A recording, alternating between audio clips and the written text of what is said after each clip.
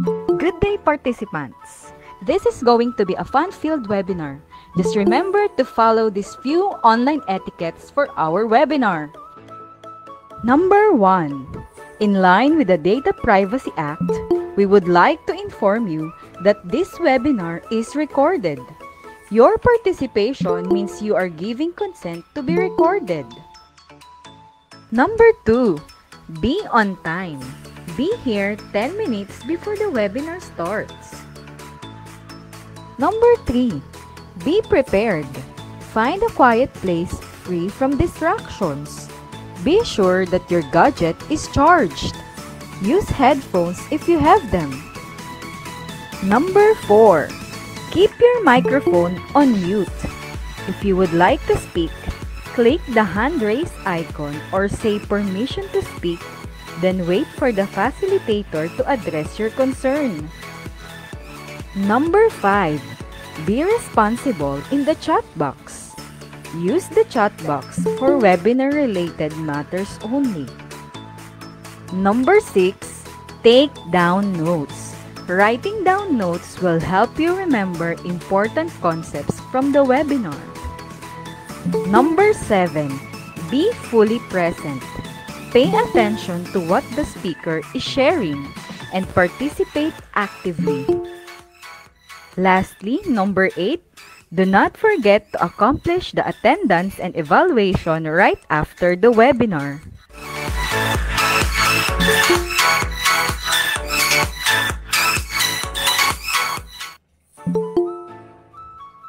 Good day, participants!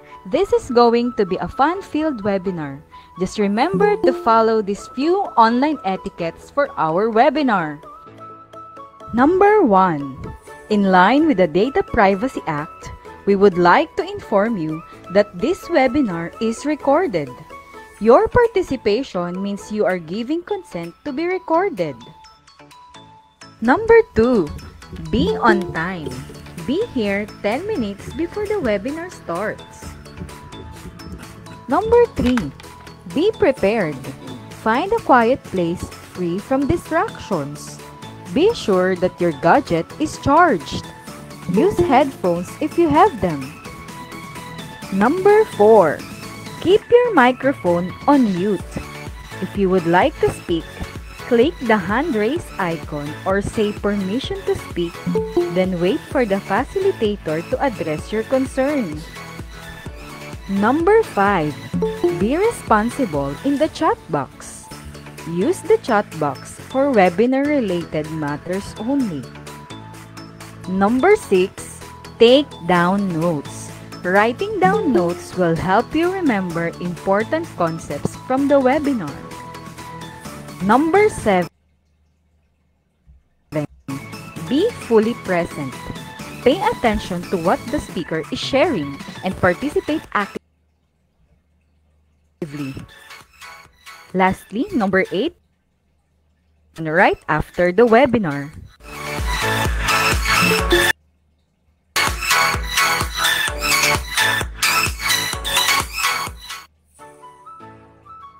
Good day, participants! This is going to be a fun-filled webinar. Just remember to follow these few online etiquettes for our webinar. Number 1. In line with the Data Privacy Act, we would like to inform you that this webinar is recorded. Your participation means you are giving consent to be recorded. Number 2. Be on time. Be here 10 minutes before the webinar starts. Number 3. Be prepared. Find a quiet place free from distractions. Be sure that your gadget is charged. Use headphones if you have them. Number 4. Keep your microphone on mute. If you would like to speak, click the hand raise icon or say permission to speak, then wait for the facilitator to address your concern. Number 5. Be responsible in the chat box. Use the chat box for webinar-related matters only. Number 6.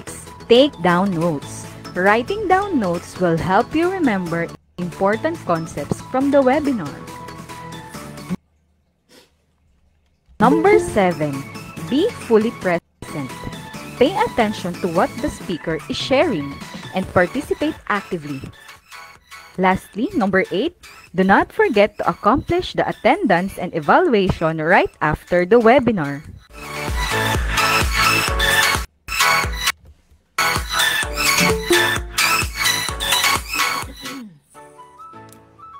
Good day, participants! This is going to be a fun-filled webinar. Just remember to follow these few online etiquettes for our webinar. Number 1. In line with the Data Privacy Act, we would like to inform you that this webinar is recorded. Your participation means you are giving consent to be recorded. Number 2. Be on time. Be here 10 minutes before the webinar starts. Number 3. Be prepared. Find a quiet place free from distractions. Be sure that your gadget is charged. Use headphones if you have them. Number 4. Keep your microphone on mute. If you would like to speak, click the hand raised icon or say permission to speak then wait for the facilitator to address your concern. Number 5. Be responsible in the chat box. Use the chat box for webinar-related matters only. Number 6. Take down notes. Writing down notes will help you remember important concepts from the webinar. Number 7. Be fully present. Pay attention to what the speaker is sharing and participate actively. Lastly, number 8, do not forget to accomplish the attendance and evaluation right after the webinar.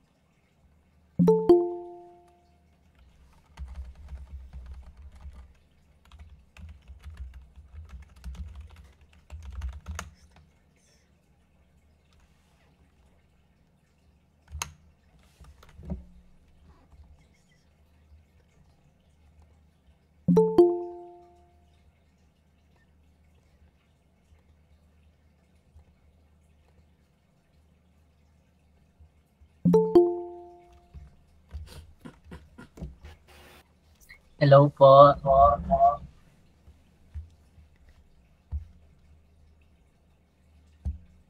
Hello po, good afternoon po sa ating lahat. So, um, while waiting po, uh, I think we can have uh, konting ano po, chikahan. so, uh, I think uh, you can comment po your section, your name section, and ayun, para po ma-recognize din po namin yung presence nyo for today. Ayan. I think Kuya Renz, maraming mga ano dito eh. Meron, meron ako nakita sa registration from other schools. So may mga nag-register din from other schools. I think isa ata yon or dalawa. So, ayun. Ayan, welcome po sa inyo. Welcome po. Good afternoon.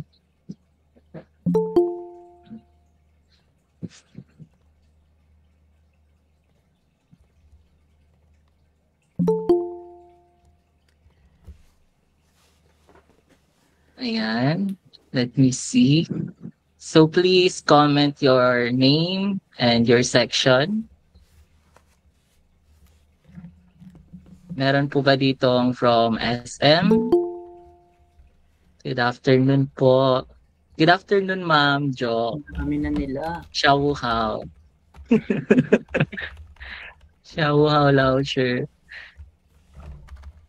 Ayun, meron dito si De Jesus Gigo James from BSIS 1AG2. Good Ayan, afternoon po. PSIS. Ako. Charot. Ayan, good afternoon kay Mariano Robert Good afternoon Allen po. from SIC 3CG1. Wow, on fire ang chat natin ngayon. Good Kaya nga po, ma'am, eh. Good afternoon. Medyo medyo naglalag na po yung computer ko. Ang dami pong ah, attendees ngayon. Nasa 154. Yep. Ayan. Welcome especially sa mga guest, uh, I mean, guest attendees natin from other schools. Ayan. Pero I think ma'am mostly ano, galing po sila ng BSIS. Ang dami pong regis- Okay. nag-register from BSIS. I think very interested po talaga sila sa webinar po natin for today. Good, good. Ayan, ang dami rin heart, heart react. Ayan. Ayan, thank you so much po.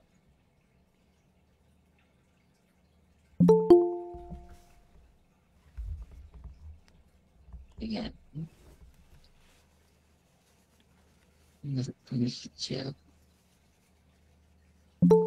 Ayan, ang meron din mga nagbibigay ng mga white hearts. So, ano ba yung ano, yung mga yung feelings niyo today? Ano ba yung um uh, reaction niyo? Uh, so, pwede rin kayo magbigay ng emoji kung ano ba yung nafi-feel niyo for today. Ayan. Meron dito ito mga ano, yung heart, yung heart na ganun. yung heart na hands. Ayan. Mainit daw. Kuya Renz, mainit daw. Sa inyo ba mainit? Ay, naku. Nasa ibang bansa ako eh. Hindi, joke lang. Sa inyo po ba, ma'am? namin. Sa inyo po ba, Ma'am Lovely? Gabi ata ngayon kay Ma'am, kila Ma'am Lovely eh. Yes, 12 hours ang ating difference.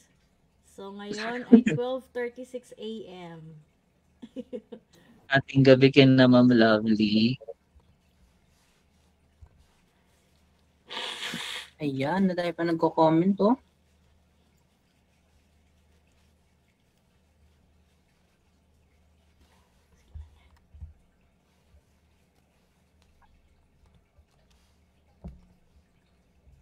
I think ano, lahat sila nandito talaga. From 3C. Ito from 3C si Kate Justin Tan. So from SM to, no? 3CG1. Hello po. Kompleto sila.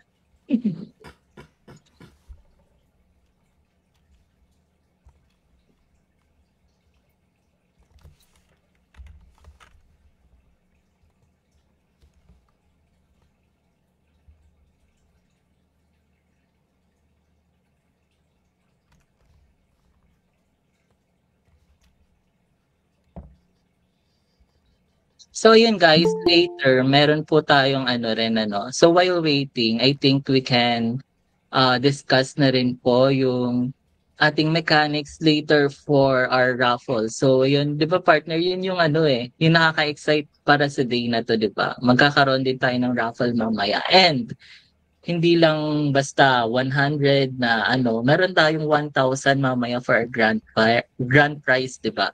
So, I think, y- ay, yung, ah ito pong meeting natin ngayon is naka-live na po sa ating, ah, sa ating Facebook group ang Kabayan Marketplace Solution. So, you can check it po and we, we can uh, share na rin po ang ating uh, live stream. So, para po sa ating uh, mechanics for for the raffle, number one, dapat registered participant ka in this webinar. So, though yung ating uh, though yung registration po ay supposedly dapat uh, in-end na po namin kagabi. So, pero ngayon po, inopen po namin ulit siya. So, pwede po ulit kayo magsagot ng ating registration form. Basta one humabol para sa ating webinar today. And second, dapat member ka ng FB group ng Kabayan Marketplace Solution. So, ayun. And you must also like and share the FB Live. So, as I mentioned a while ago, meron po tayong FB Live dun sa ating group. And you must also be present at in this webinar by the time na nabunot namin yung pangalan mo. Kasi later po magkakaroon tayo ng um, ayun, pag spin the wheel. Ayan, yung wheel of names. So, dapat po nandito kayo kapag nabunot namin kayo. Otherwise, we will draw another name po. Ayan. Kapag tinawag namin yung pangalan mo at hindi ka nag-raise hand or nag-comment ng I'm here sa chat box within 40 seconds, we will draw another name. So, yun. I think uh, I think partner, they can share already the live, di ba? Naka-live na tayo, di ba? Oo, partner, tayo Yep, naka-live na. yep, live na live. Ayan, yun po.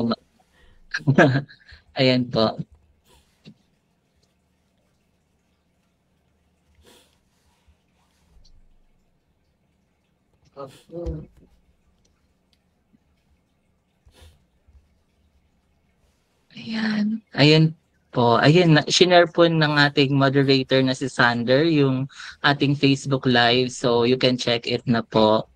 And also make sure na ano po ah, naka-join po kayo sa ating FB group. Ayun. And ah, later po, we will post yung siguro yung registration form. Ah, so, mamaya kapag na-post na po namin siya, please sa- sagutan po natin agad. And we'll try na within this day is masend rin po namin yung mga certificate po ninyo. And aside from certificate, ipapro- mayroon din po kami ipaprovide na handouts or notes about this webinar.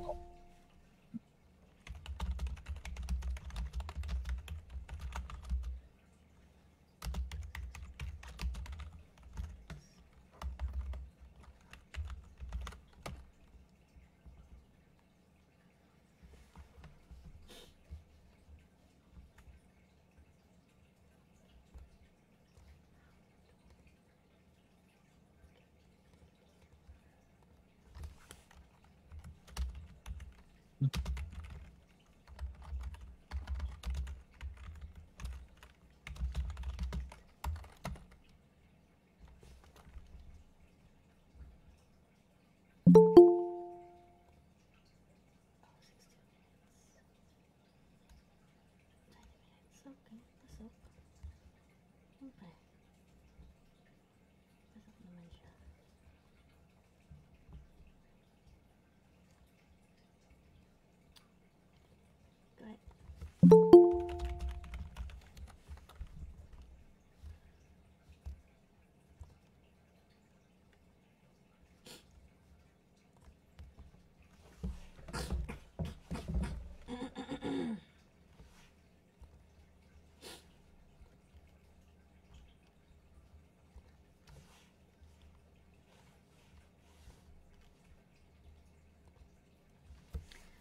Yan, so I think uh, komple marami na po ang ating mga regis ang mga participant for today.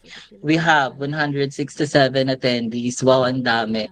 So I think uh, partner we can start. We can start na, no? Okay. Good day and mabuhay. Bulsu, SM, and IS students. Are you excited to explore the realms of water, earth, air, and fire? Are you ready for the knowledge-filled journey and insights today you will acquire? This is the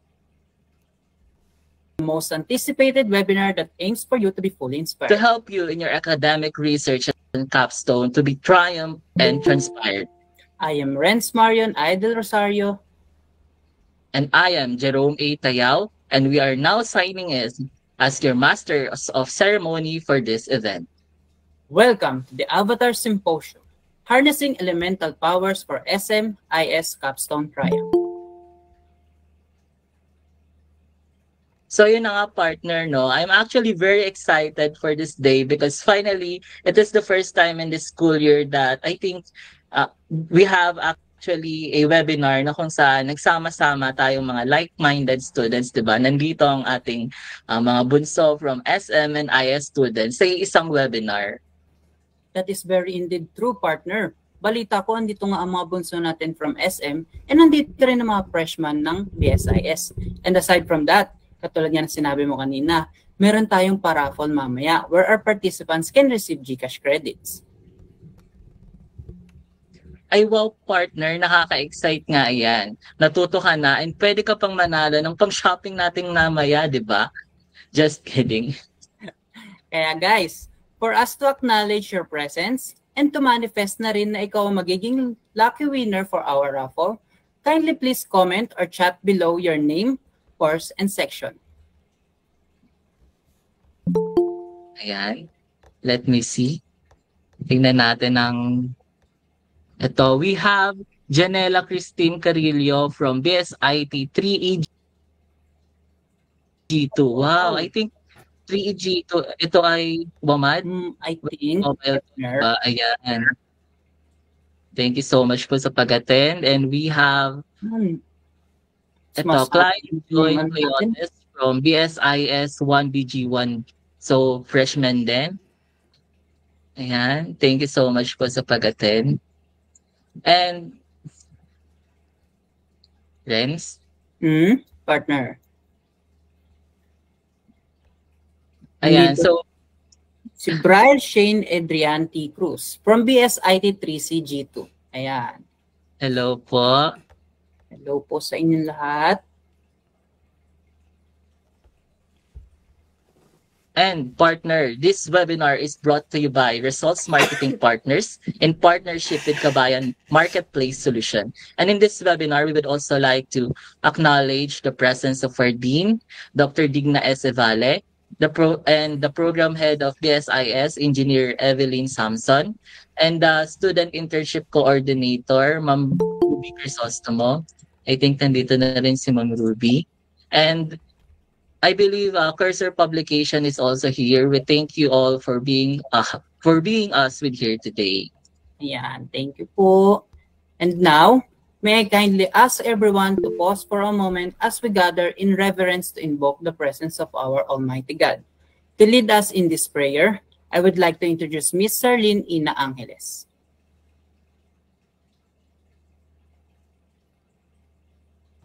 Let us bow our heads and put ourselves in the holiness of God the Father, the Son, and the Holy Spirit.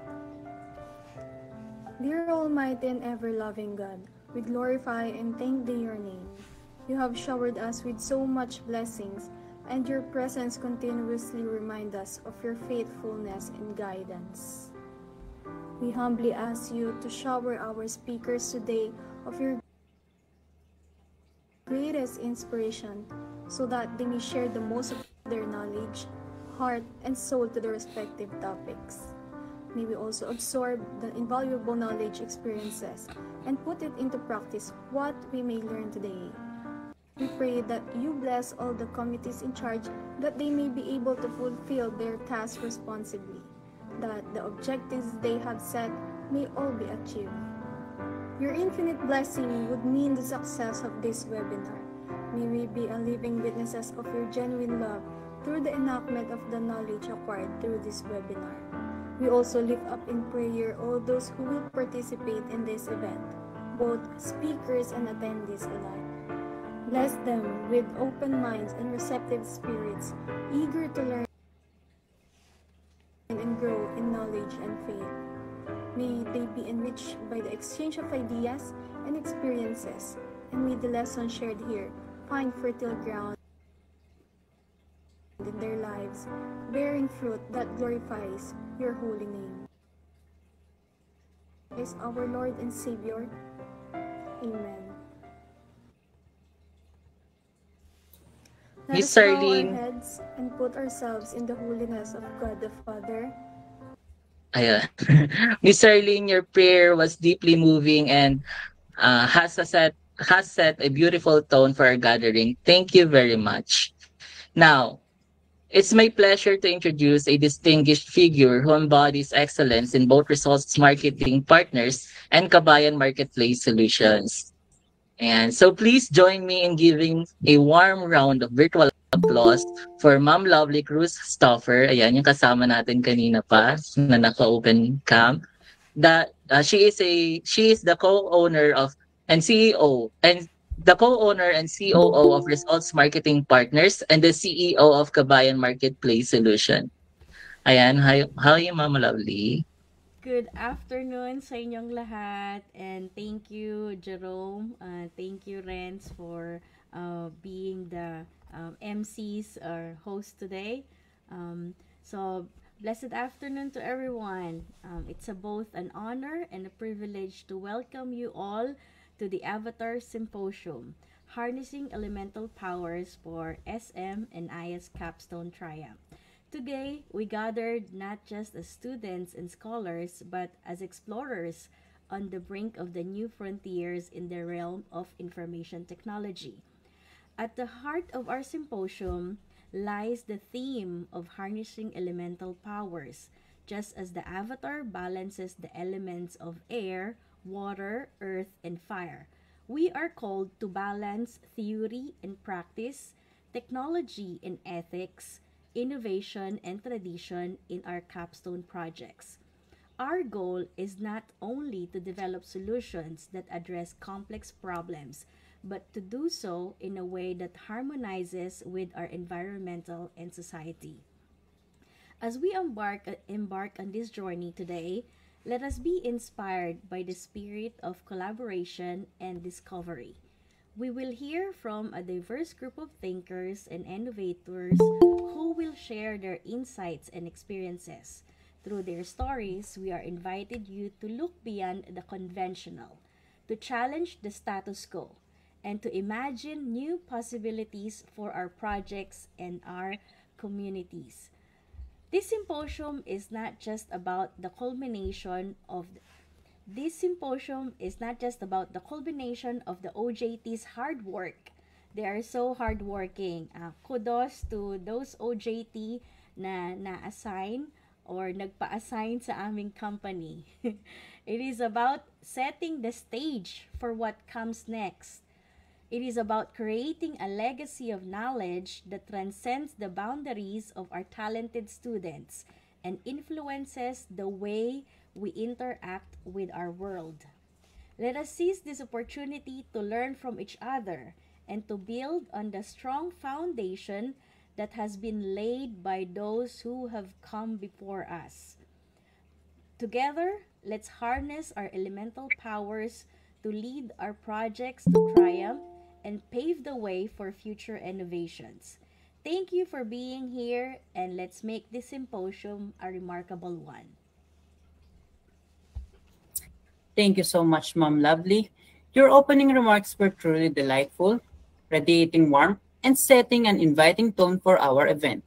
Thank you for your gracious words.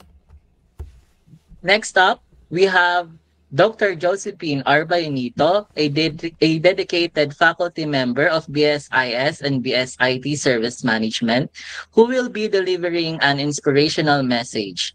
Please join me in welcoming her with a warm round of virtual applause. Ma'am Jo.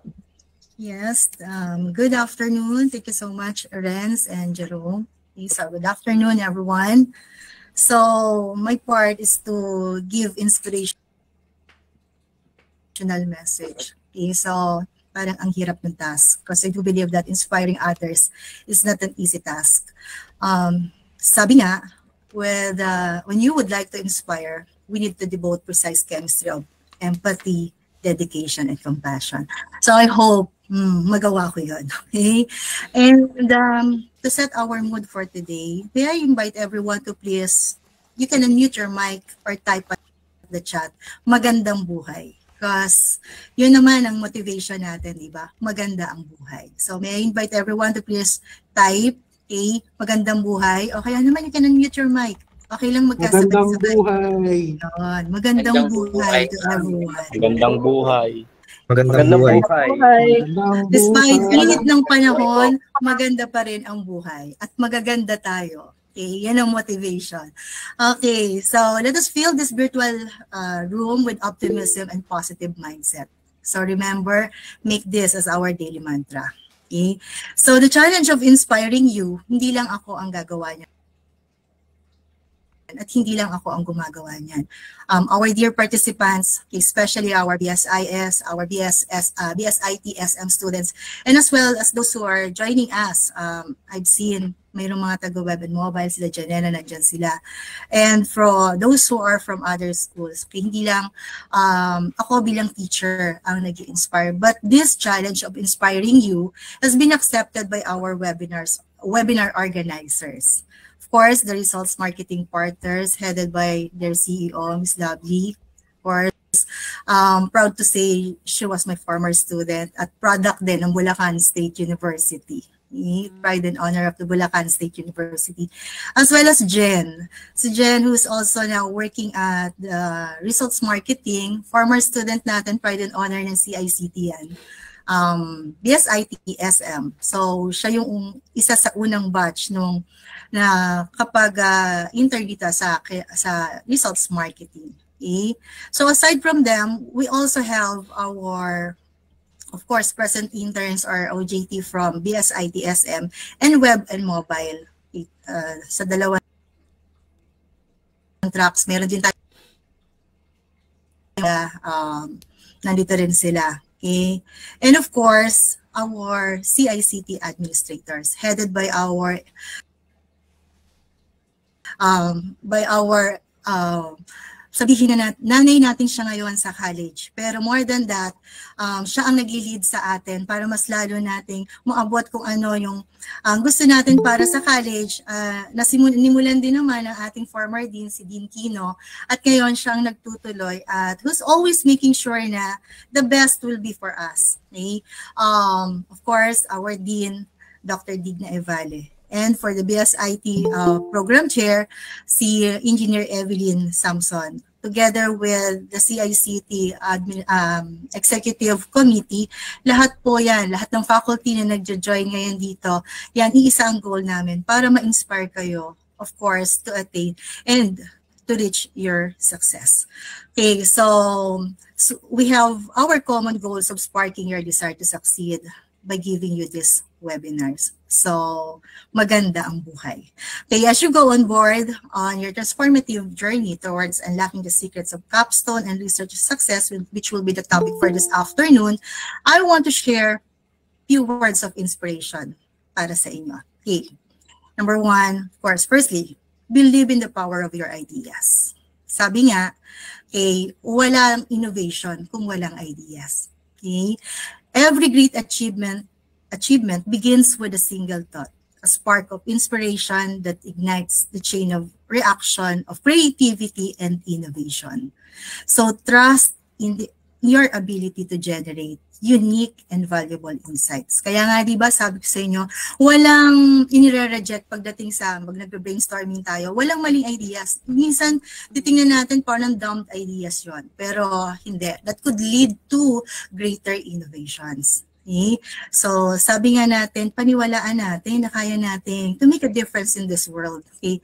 Kung hindi naniwala si Alexander Graham Bell na kaya niya okay, na ituloy yung kanyang idea of having the telephone, wala tayong smartphones nowadays. So, di ba, ibang-iba na noon, nung kinonceptualize niya, um, At ngayon na meron tayo yung ginagamit natin yung current technology. Same with, kung hindi naniwala ang Wright brothers na kaya nila, wala din tayong airplane. Hindi tayo nakakapag-travel sa mga panahong ito.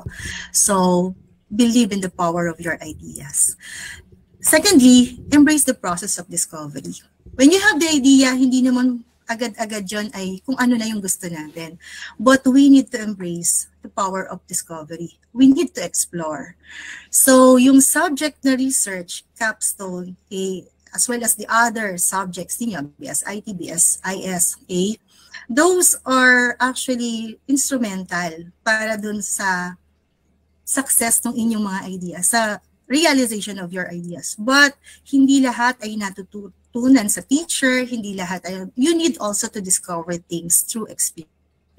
Sabi nga, um, though this may sound so cliche, but experience is the best teacher. And when you are exploring, yung natututunan natin sa experience, yon importante yon So explore and discover. Thirdly, cultivate resilience in the face of setbacks. Sino ba ang hindi dumadaan sa pagsubok? Sino ba ang hindi nahihirapan? Taas nga ang kamay nung magsasabi na sa panahong ito, madali ang lahat. Lahat ng subjects ay madali. I know for sure, walang magtataas ng kamay. Sigurado tayo doon. But sino sa inyo yung nahihirapan? Yung totoo. Raise hand nga. Yung totoo. It's okay na meron kayong mga teachers dito. Okay. Hmm, nahihirapan. O, yun, lahat. Tanungin natin yung mga teachers, even we teachers nahihirapan din kami. But despite this, tandaan natin, kailangan nating maging resilient. Okay? Success is really, rarely a straight path. Walang ganon na talagang smooth yung dadaanan natin. Maaring may twist, may turns, may unexpected ob- obstacles. But what is important, resilient tayo. Okay? Sabi nga, eyes on the prize. Okay? And lastly, remember the importance of collaboration and support. So your journey towards capstone research and your journey to success, okay, doesn't have to be a solitary one or independent endeavor. Learn from your peers, your mentors, your support networks for guidance, encouragements, inspiration. So, hindi kailangan mag-isa. Okay? Sabi nga, get the right people on the bus. So people who will be rowing in the same direction with you. Okay? So as you immerse your, uh, yourselves in this webinar and the challenges that lie ahead, okay, I encourage you to approach each new experience with curiosity, courage, and unwavering commitment to excellence. Your journey towards your IT and IS, um, of course, degree um, dadaanan niyo muna yung capstone, yung mga yung research and other subjects, hindi niyo yan maaabot ng ganun kadali. But surely, you will reach your success. Okay? Kung pagbubutihin natin at magiging strong ang bawat isa. Okay, kasi indeed, sabi nga natin for this afternoon, madami kayong matututunan based on siguro experiences din ng mga speakers, ng mga mag-share ng knowledge nila. Okay, because we need to learn from others. In this digital age, where knowledge is abundant and accessible, parang andali nating makalimutan yung sarili nating ideas. We would always look uh, for something na, ay, ang galing ni ganito, ang galing ni ganon. Sometimes nakakalimutan natin yung mga sariling ideas natin.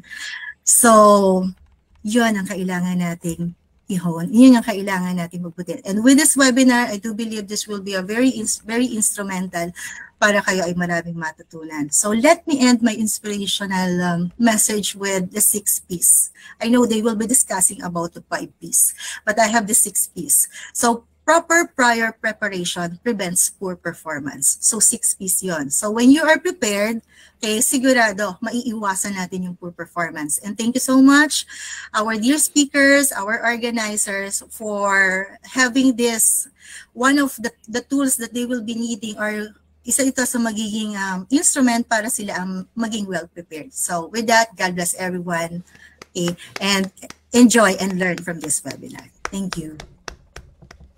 Thank you so much, Mom Jo. Your message has truly stirred our hearts and minds, leaving us inspired and excited to embark on new endeavors.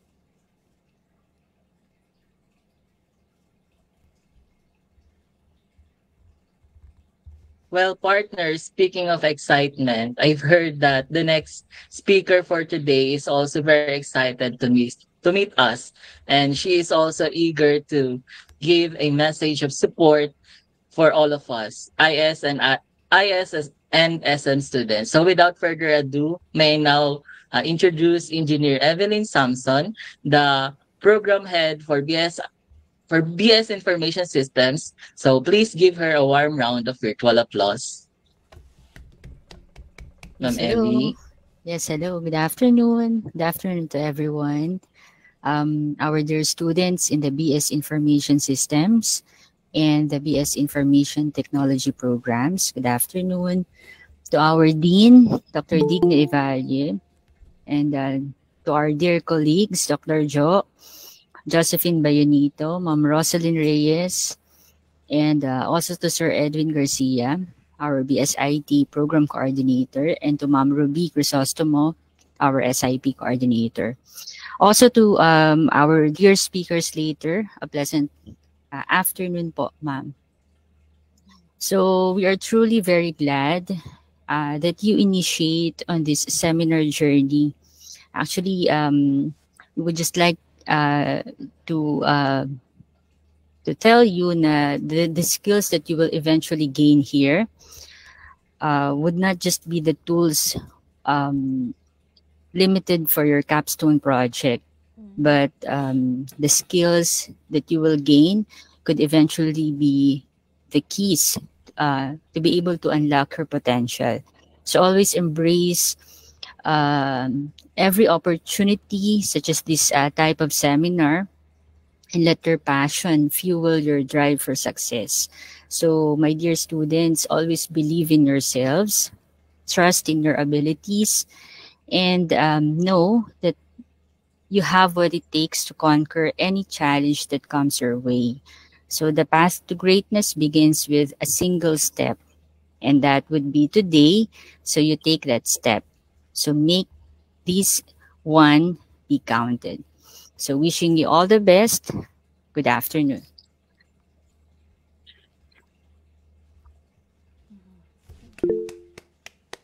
Thank you very much, Ma'am Evie. And once again, welcome to our webinar.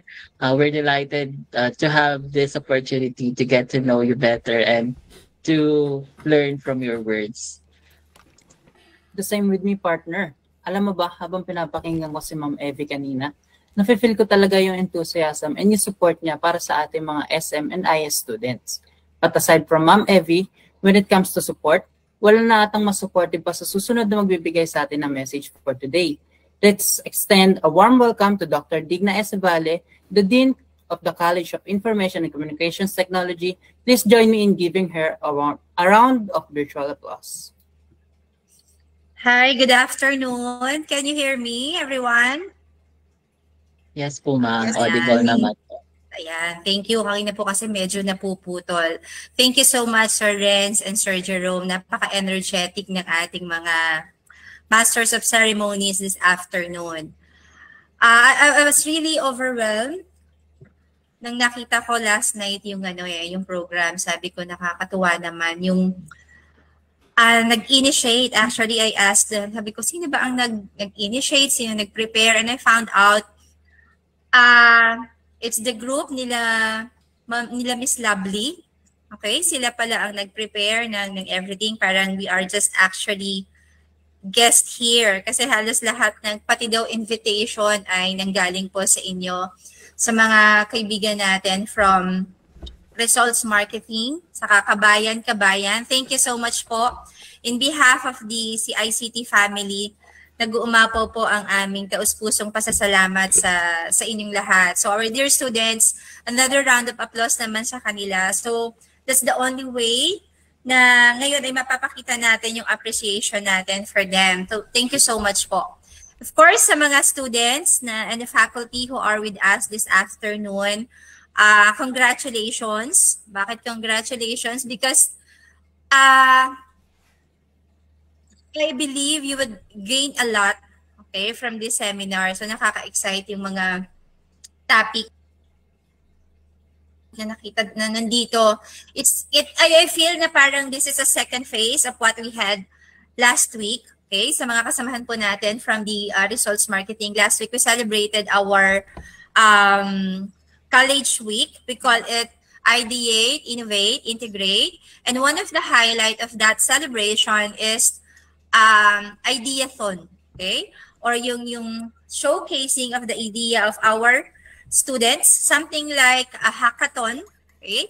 And at the same time, yung showcasing of the capstone and research project of our uh, students. So I, I think this is very timely. This is very relevant of what we had last uh, last week, and this will be very beneficial to this group of students that we have uh, this afternoon. So natutuwa po ako na uh, may partner kami, usually po after the internship, uh, Miss Lovely, what we have is examination assessment. So we are preparing for that. But this time, meron, meron kaming recognition. Parang it's, it's a recognition day. Sabi niyo nga, uh, we, we are recognizing the interns uh, this afternoon. And that recognition is in form of giving them this kind of uh, seminar or, or symposium as we call it. So thank you so much po for that. So my task this afternoon is really to to give a message of support pero hindi ko maiwasan na words of gratitude yung lumabas po sa sa akin. Of course, I'm very thankful din una na rin kay Miss kay, kay Dr. Josephine Bayonito kasi po she bridge us sa inyong team Miss Lovely. So napakalaking blessing po ng ng inyong uh, organization, ng inyong company sa amin and we are very grateful that we have Dr. John na napaka-open din na i-share sa lahat ng students whom she believe would benefit on this kind of endeavors. And I believe lumalaki yung aming bilang ng nag internship sa inyong ano po sa inyong company. Thank you so much po for that. Miss Lovely and your uh, group.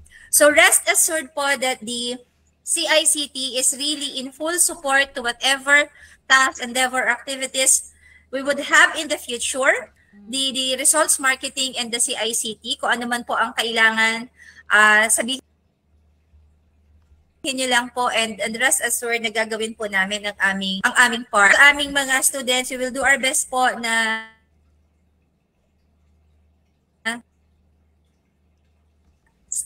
they would be more professional, okay? So they would be presenting the best version of themselves of themselves during the internship. And I'm looking forward din po na itong mga uh, estudyante Of course, ang aming pong pangarap is after graduation, immediately they have the, the uh, they have the employment. But of course, sabi nga let let's move beyond. Sabi nga ni Miss Lovely kanina, let's go beyond what is conventional. Mm-hmm. So wag let's not be satisfied or dear students na tayo ay just employees. So mas maganda siguro kung tayo magiging uh, we could start up a business of our own. So magiging CEO din tayo ng mga sarili nating company or kung ano institutions, kung ano man yung gusto natin na maging in the near future. So I'm we are looking forward on that. And and speaking of support for our students who are soon to enroll their capstone or probably naka, naka, naka-enroll, sorry, naka-enroll sa inyong capstone. Meron kaming niluluto ngayon. We, we, we are planning this called um, CICT Gabay Alumni where we would like to tap our alumni na from the conception of the project of our students during their capstone uh, project or thesis project, meron ng isang alumni na naka-assign sa inyo, gagabay sa inyo all throughout. Sabi nga ni Dr. Joe kanina, hindi lang naman yan lahat sa classroom natin nakikita. And mm-hmm. let's accept it, mas advanced sa atin most of the time yung mga nasa industry. And we are trying our best to to fill in the gap between the academe and the industry by opening our door and inviting the alumni and industry partners to guide us even do sa conception and, and, and technicalities of the project na nagiging culminating uh, project ninyo in your uh, course. So, we are looking forward at kayo ang magbe-benefit nito mga IS and, and kasama kayo magbe-benefit the IS and the SM students, especially kung yung mga SM natin kayo ay nasa third year uh, level na ng inyong pag-aaral. So, I know you are very excited to what is in store for you this afternoon. So let's enjoy the rest of the day. So make sure that the end of the program, we learn something new from this symposium or webinar. Once again, thank you so much, Pro, from the CICT family towards the Kabayan Kabayan and the results marketing. Thank you, thank you so much po for reaching out sa amin. Maraming salamat po. Thank you. And again, thank you so much po, Ma'am Digna. So we, we also extend our heart- heartfelt gratitude for joining us today and for being part of this significant milestone in our internship journey. So your support in empowering SM and IS students is greatly appreciated. Absolutely, partner. I'd like to extend my gratitude to all of our guests and participants for joining us today. Now, before we delve into our main discussion, I kindly ask everyone to turn on their cameras for a quick photo opportunity.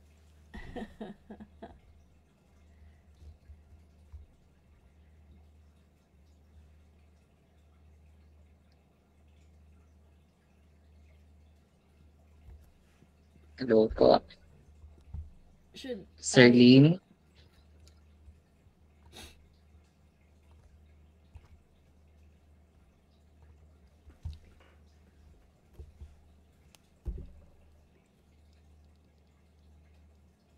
So I will take uh, a screenshot din po. So one, two, three.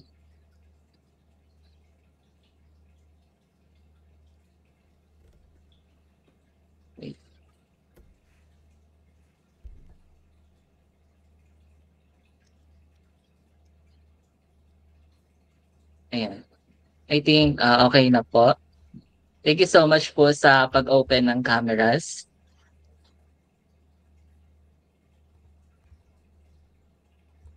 Ayan, so hindi na natin patatagalin pa to kasi sobrang init na nga talaga, no? So it is my privilege to introduce our first presenter for today.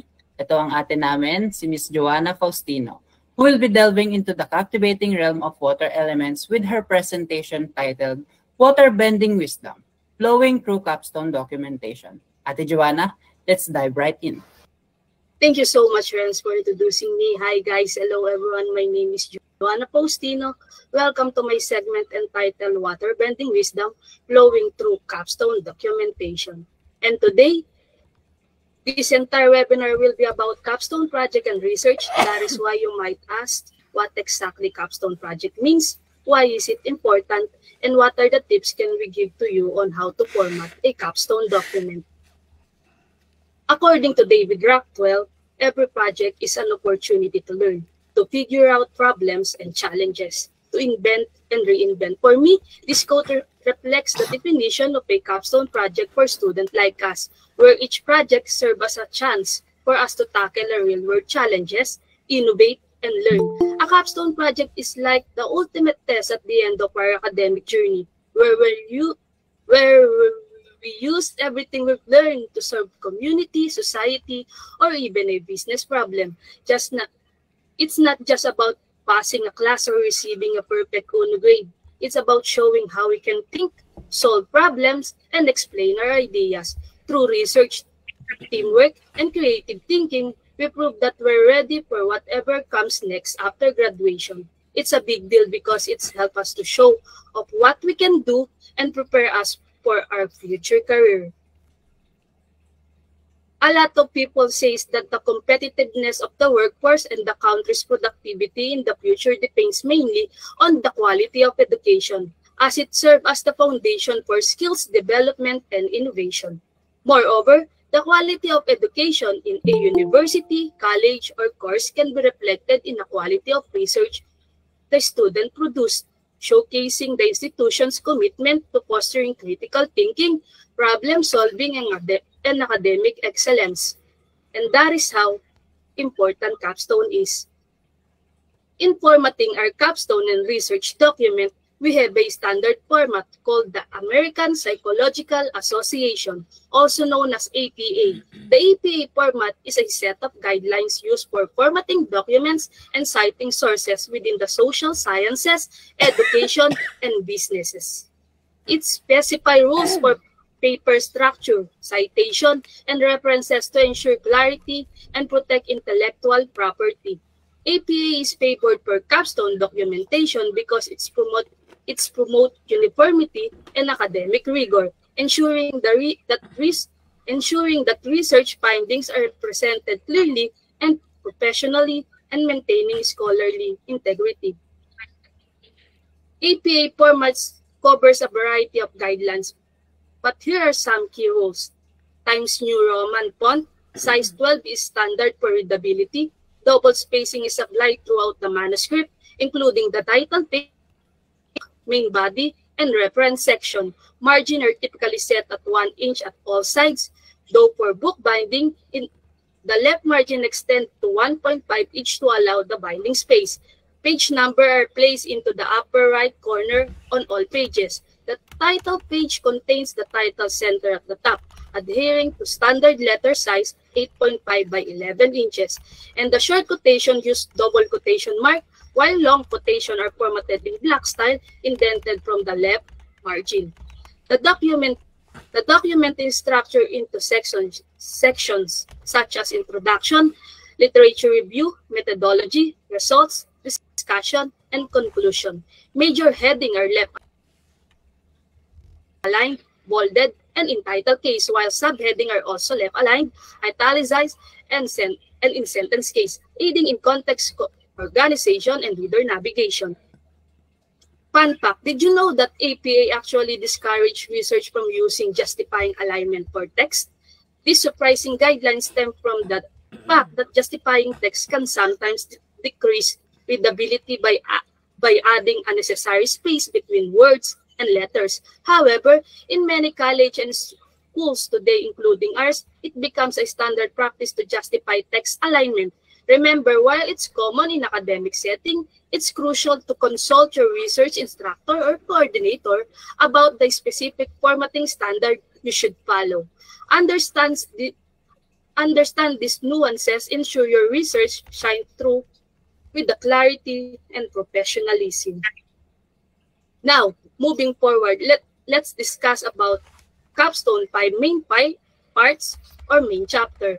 In a capstone project, the essential chapters serve as the foundation, defining its objective, scope, and the problem significance. This chapter establishes the project's context, detailing specific goals while setting boundaries to ensure clarity and focus. As the, as the project progresses, subsequent chapter delves into exciting knowledge and technical aspect. The second chapters explores related literature and study, guiding this project approach by uncovering insight and methodologies. Following this, the third chapter dives into the technical realm, providing an overview of methodologies, design processes, and testing procedures, showcasing meticulous planning and execution. Later, the focus shift in discussing results and addressing challenges in the fourth chapter, serving as the reflection point on the project's success and shortcoming. Finally, as the project concludes, the fifth chapter synthesis findings, draw conclusion, and offer recommendation for the future endeavor, serve as the bridge between past and future. This chapter encapsulates the project journey and paves the way for further exploration and innovation. In research and capstone project, you obtain to find yourself deeply involved in making diagrams and illustration, especially when you're putting together at chapter 3. Just to give you an idea, guys, we're talking about things like project methodology framework, business process model and notation, also known as APMN, work breakdown structure, system flowchart, context diagram, data flow diagram, entity relationship diagram, use case diagram, and honestly, the list goes on depending on what project, on your what, on what your project needs. All these diagrams are essential in piecing together your capstone document. Each plays a critical role. Now, hearing about all this diagram, you might be thinking, that's a lot to handle, right? On how earth do we manage to pull all of this off? Well, guys, don't worry. I'm about to let you in on the secret of on the secret that our capstone document our our success. When it comes to crafting diagram for our capstone projects, such as project methodology framework, work breakdown structure, and use case diagram, we found the game changer in Canva diagrams. One of the biggest reasons we, we choose Canva is it wealth of pre-made templates and, a, and an extensive library of stock media. It's incredible user-friendly. All we have to do is select template, modify text, and drop in some additional graphics element from its vast collection as needed. Canva flexibility as web-based tools is truly set it apart. It, it allows us, the project development team, to collaborate online seamlessly. Plus Canva mobile app, we can make edit on the go from anywhere at any time. Whether we're in online or in a face-to-face setting, we can access our project work and make necessary adjustment right from our phones or laptops. While Canva, great for a lot of things, it can be a bit tricky when we're working on a complex diagram with a lot of shape and arrow. There were app.diagram.net, also known as Draw.io, comes to the rescue. It's perfect for creating things like BPMN, flowcharts, DFDs, and ERDs. Plus, since it's web-based like Canva, it makes collaborating a breeze. We, can all work together in real time. And the best part, it get numerous pre-made up template and presets ready to go so we can get started right away. Plus, being open source, it can be integrated by many sort of platforms like Google Drive, OneDrive, and GitHub for easy storage. That's cool, right? At this point, let us talk about our top five best practices, practices for ensuring online tools in creating your capstone document. First up, consistency is crucial. For me, guys, capstone formatting is comparable to love. We need to be stick and consistent when it comes to formatting. This includes font style, size, and colors. And don't forget to save and back up your files regularly to avoid any data any potential data loss. Utilize version controls features to track challenges and maintain access to the most recent document version. Take advantage of features like commenting, annotation, for clear communication and collaboration with your project development team. Lastly, schedule regular meetings or check-in to discuss progress, address challenges, and keep everyone aligned. This practice ensure efficient, efficiency, clarity, and collaboration throughout your capstone project journey. As I said earlier, capstone is comparable to lab nga. Kaya kailangan natin ng update anywhere and anytime. As we wrap our discussion, I want all of you, I want to encourage all of you to explore and implement the tools we discussed today. While Canva and app.diagram.net have been invaluable to us in our academic endeavors, it is essential to remember that technology is always evolving.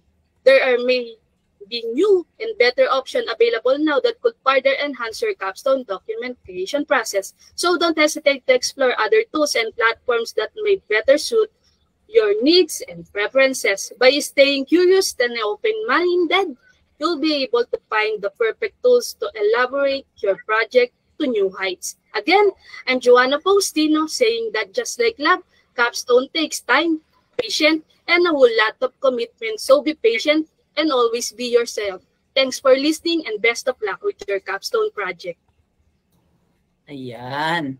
So bigyan niya natin ng palakpakan sa Ate Joanna. Ayan. Thank you po, Ms. Joanna, for sharing your knowledge and experience in formatting capstone documents. Your presentation about the essence of capstone projects and meticulous attention to detail in formatting capstone documents has left an indelible mark on our understanding. That is indeed true, partner. Again, thank you so much, Miss Joanna. Now, moving forward, as we continue our journey through the elemental uh, realms of knowledge and inspiration, it is with great pleasure that I introduce our next esteemed speaker, Ms. Maria Socorro Burabot, with her expertise in the field of effective communication and stakeholder engagement.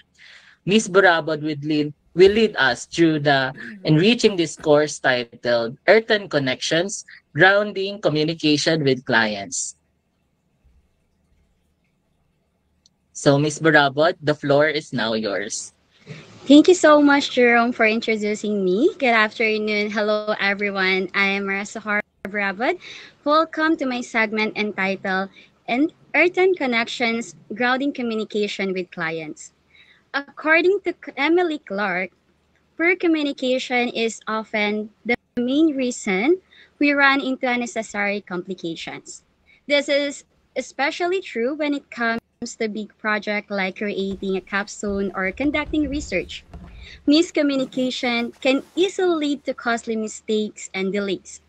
For instance, if you're working with a project team and not everyone is on the same page, you might find yourself redoing work or missing deadlines.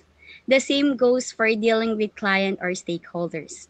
If they don't clearly understand what's happening, or if their expectations are different from what you've you understood, different from what you understood, things can quickly go off track. In short, keeping everyone clearly informed and making sure all are aligned can really make or break the success of a project. These misunderstandings can lead to a wide range of inefficiencies, including increased wasting times, numerous defects resulting from rework, scrapping, and incorrect information, overproduction, unnecessary movements by people, and also excess transportation of goods, underutilization of people's talents, excess inventory, and extra processing steps. In the realm of service management concept, or Lean Six Sigma to be specific, we refer to those inefficiencies as waste. As a student or student of information system and service management, isn't our main goal in all of projects to make everything fast, efficient, and optimized? We definitely don't want to deal with these wastes, so effective communication should always be our aim. You know, it's absolutely crucial to keep those lines of communication with our clients and stakeholders crystal clear. Their companies are already navigating plenty of challenges, and as a SM and IS students, we're here to bring solution, not add to their problems. By stating a line through solid, open communication, we not only craft their unique needs but also tailor our solution more effectively. This is not only help us avoid any misunderstandings, but also build trust, enhance collaboration, and ensures our project is right on target. Regular feedback from them keep us adaptive and responsive, boosting the project's efficiency and ultimately leading to their satisfaction. We've committed to making a real difference in their systems and organization after all. So in Capstone Project, our research endeavors, clients and stakeholders represent those with a vested interest in the project's outcome. The client typically initiate the project with the specific needs, while stakeholders include a broader range of individuals or entity impacted by or involved or interest in the project success. Though, uh, their involvement is integral, providing input, guidance, and resources throughout the project's duration to ensure alignment with their expectation. Collaboration between clients and stakeholders is crucial, shaping the project's direction and outcomes by fostering strong partnerships, a student can effectively address challenges, maintain open communication, and achieve project objectives to the satisfaction of all involved parties. Um, can I ask, or may I know who is currently on um, on our pres- or our um, attendees right now? Can I, or may I know who is currently um, in a relationship right now? Can you please raise your hands? Oh, okay. we have those relationship. Yes, Jerome. Um, how about can you please react um a clap if you are uh, pursuing someone or if you are nanliligaw or kayo yung nililigawan. Can you please clap or show clap your Oh, there is a lot of nanliligaw here. Lastly is can you please, oh, there's a sad reaction from, there's also participants. Lastly is, can you please react a heart if you're currently in, in, in love right now? oh, that's good to hear. So, um, I'm just asking it because, guys, or our participant, securing a client for your capstone project can feel like navigating a first date. You're both eager to impress and see if there's a spark of potential. Proactively, uh, proactivity is key here. Start by tapping into your existing network reaching out to past managers or acquaintances who might have lead of or leads or connections. Personalized gesture like handwritten notes or email expressing gratitude for past interaction can go a long way in reigniting those connections and signaling your interest in collaborating further. Additionally, leverage your network by asking for referrals or introduction to potential clients, and be sure to follow up promptly and professionally on any leads that come your way. Remember, finding the right client is a time consuming process, but by casting a wide net of being proactive in your outreach efforts, you'll increase your chances of finding a suitable match for your project. When it comes to acing your capstone project, Several key ingredients are crucial for success. Start with active listening. Really dive into every detail the client the client shares, ensuring nothing is missed, and ask questions and seek clarification to fully um, understand their needs. Empathy is vital because put yourself in the client's shoes to grasp their perspective, which helps in crafting perfectly tailored solution. Use these insights for effectively problem solving, uh, pro- developing innovative solutions that address the client's core needs. Building trust through open and consistent communication make the client feel valued and understood. Setting the stage for effective collaboration, working closely with your client as partners ensure the final product not only meets but exceeds their expectations. By mastering these elements, active listening, understanding needs, empathy, problem solving, building trust, and collaborating, you're not just delivering a capstone project. You're creating a masterpiece for partnership and success, truly knocking it out of the park. Collaborative decision making and problem solving with the client are essential components of successful project management especially in navigating challenges and resolving conflicts. By fostering open communication and actively involving clients in discussions, teams or uh, teams can address issues transparently and explore mutually in beneficial solutions. Proactively, uh, proactively seeking feedback and input from clients not only strengthens our partnership but also enhances the overall project outcomes. Effective problem solving involves identifying root causes, proposing alternatives, and implementing solutions co- uh, collaboratively, ensuring alignment with project's objectives and client expectation. Through a combination of active listening, empathy, and professionalism, then um, teams can foster a culture of trust and collaboration. Ultimately, driving project success can um, client satisfaction. And also, it's crucial to establish clear channels of communication, such as email, phone calls, and email or in-person meetings at the beginning of the relationship. Regular updates and progress reports should be shared with the client to keep them informed and engaged. When reaching out to clients, it is important to be courteous, respectful, and professional. Always consider their preferred communication method and frequency, and avoid bombarding them with unnecessary emails and messages. When drafting emails, ensure clarity, brevity, and relevance, and always fit for errors before sending. Additionally, maintain a positive and collaborative tone and be responsive to any inquiries or feedback from the client. Lastly, follow proper etiquette when scheduling meetings or calls, ensuring punctuality and preparedness, and always follow up promptly on actions item discussed during communication sessions. In conclusion, uh, building strong relationship with our clients and stakeholders is paramount for the success of any project, including capstone projects and research endeavors.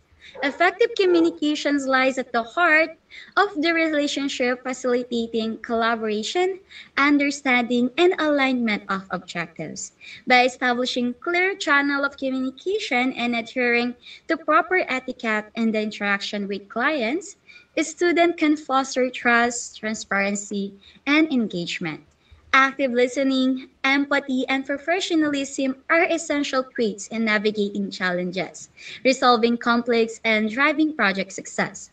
Ultimately, by prioritizing communication and collaboration with client student can ensure project outcomes that meet client needs and expectation, paving the way of meaningful partnerships and impactful, impactful results. Again, I'm Marissa Carbarabad. Thank you for listening to my discussion and I wish you the best of the success of your capstone and future research endeavors. Ayan. So, isa pa nga pong palakpakan para sa ating presenter.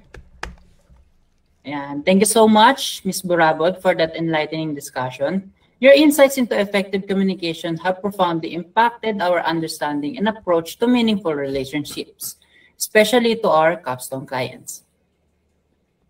Grabe no, partner. Dalawa pa lang yung presenters natin. Ang dami na agad nating natutunan at na-share para sa ating ah, mga kapatid from SM and IS. Oo nga, dalawa pa nga lang yan, partner, pero mamaya meron pa ulit tayong dalawang additional presentation. So for now, we will have a short icebreaker activity. Partner, ito na yung inaabangan natin. Pang-shopping natin to mamaya. Ayan na ba yung merong chance manalo ng Gcash credits? Wag na natin patagalin pa. May we now call on our raffle masters, Mr. Clyde Perater and Mr. Sander Balais to discuss the mechanics of the raffle. Clyde and Sander, let the raffle begin. All right, so thank you. Um, good afternoon po sa, sa ating lahat. And before we proceed sa exciting part, I just want to remind everyone na don't forget to drink your water. Dahil grabe ang pagtaas ng heat index sa kahit anong lugar ngayon. Kaya stay hydrated guys. So going back, alam ko na totoo na nga excited na rin ang ating mga participant na parang ganito. 'Di ba? So kung sino malalaman natin ang maswerteng mananalo. Pero before natin i-explain pa yung mga mechanics, gusto ko sana ng mga mga participant natin is mag-chat dito sa comment natin ng Gcash QT para manifest natin yung mga positivity na malay mo, tayo ang manalo, di ba? Ayan, Gcash QT. Yan, sige, Gcash QT. Yan. Attract lang natin ng mga positive energy na malay mo, di ba? Ayan. So, going back, di ba? Talaga, isipin mo naman, kasi nakinig ka lang dito sa webinar natin. Nakinig ka lang, may natutunan ka na, at may chance ka pang manalo ng Gcash credit. Grabe talaga, di ba? That is true, partner. Balita ko, top 1 daw sa lugar niya heat index, ah. Kaya kayo guys, huwag niyo kakalimutang uminom ng tubig. But before anything else, syempre, need muna natin ma-discuss din yung mga mechanics ng ating raffle draw. Please be sure that you follow these rules, otherwise we will draw another winner. Yes. Number one, dapat registered participant ka in this webinar. Dapat, member ka ng FB group ng Kabayan Marketplace Solutions. Then, you must also like and share the FB Live of this webinar. You must also be present in this webinar by the time na nabunot namin ang pangalan mo. And kapag tinawag namin ang pangalan mo at hindi ka nag-raise hand or nag-comment ng I'm here sa chat box within 40 seconds, we will draw another name. That's all for our raffle mechanics. So without further ado, let the raffle draw begin. Boss G, paikutin na yan.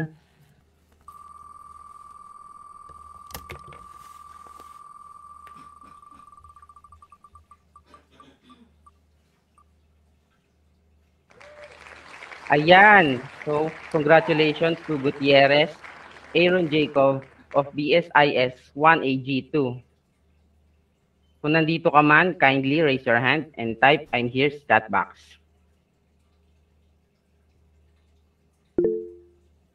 Ayan, okay. So, nandito siya. Again, congratulations. And let's have another roll for someone na mananalo naman ng 300 pesos. Kaya, Boss G, paikutin mo na yan.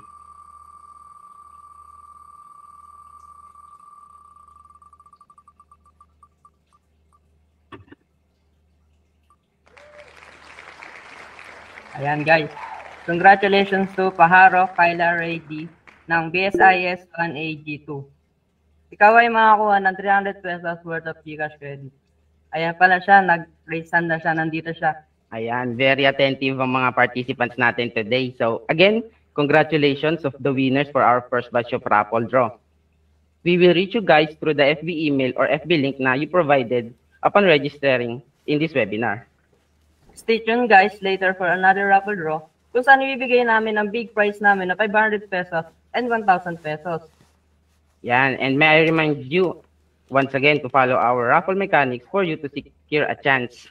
Malay mo dito, magkaroon ka ng chance, di ba? Again, this is Clyde B. Perator.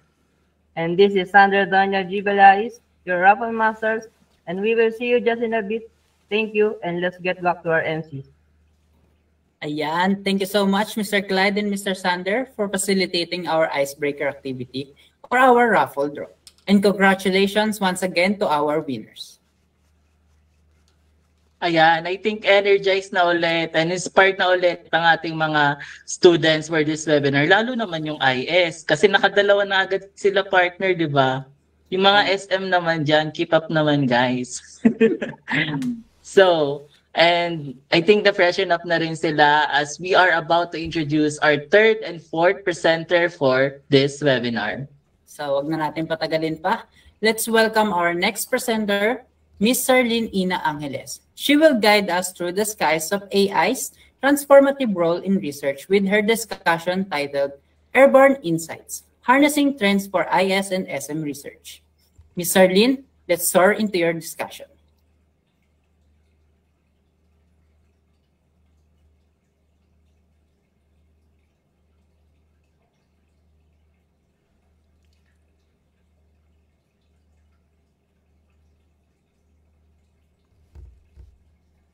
Celine.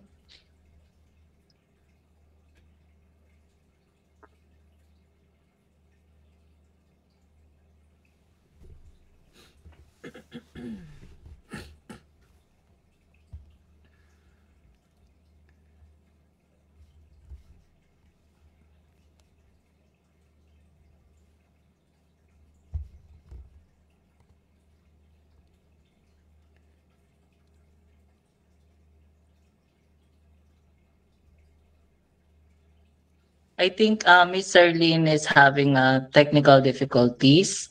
Um, Hello? Ayan. Audible Ayan, na okay na pala. Ayan na. Hindi ka ata naka-on mic, te. Nagpalit ako. Sorry sa device ko ata. Sorry for the delay. Alright. Thank you so much, Renz and Jerome, for introducing my segment for today. Hello, everyone. I am Serlene Ina Angales, and welcome to my segment called Airborne Insights Harnessing the Trends for IS and SM Research. Okay, Arthur C. Clarke famously stated that any sufficiently advanced technology is equivalent to magic. And today, as we explore the latest trends in IT service management and information systems research, this statement resonates more than ever. Today's advancement in ITSM and information systems might appear magical to those unfamiliar with the underlying technologies. These systems enable seamless global communication, predictive analytics, and automated decision making at speeds and efficiencies that were unimaginable just a few decades ago. As we explore these trends, we'll uncover how modern IT innovation have transformed businesses and everyday life continuing to push the boundaries of what we once thought was impossible. This exploration is not just about understanding new technologies, but also appreciating how they create seemingly magical experiences in a highly interconnected digital world.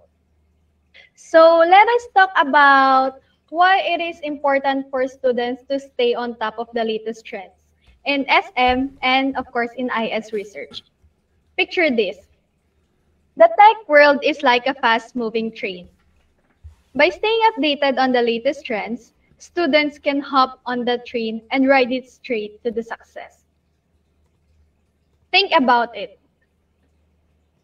Technology is always evolving, and businesses are constantly looking for new ways to leverage it to stay competitive, whether it's AI, cloud computing, or blockchain. Being the know gives a massive edge in the job market. Plus, understanding these trends isn't just about landing a cool job. It's about making a real impact. By staying updated, students can contribute fresh ideas, innovate solutions, and of course, it, uh, help businesses thrive in today's digital landscape. Introducing you first the digital transformation and service innovation. When you explore the concept of digital transformation, you're not just learning about adopting new technologies. You're also delving into a new complete overhaul of how businesses operate and engage with their customers.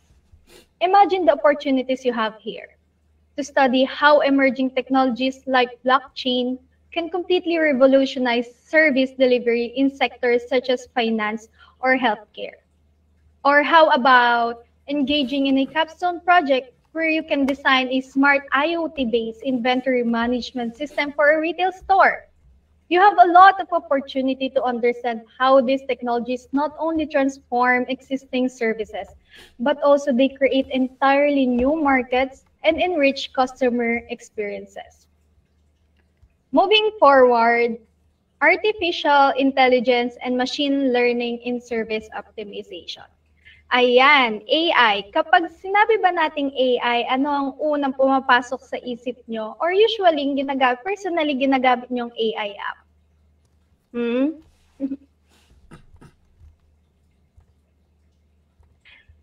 Ayan, mabenta si paring chat GPT.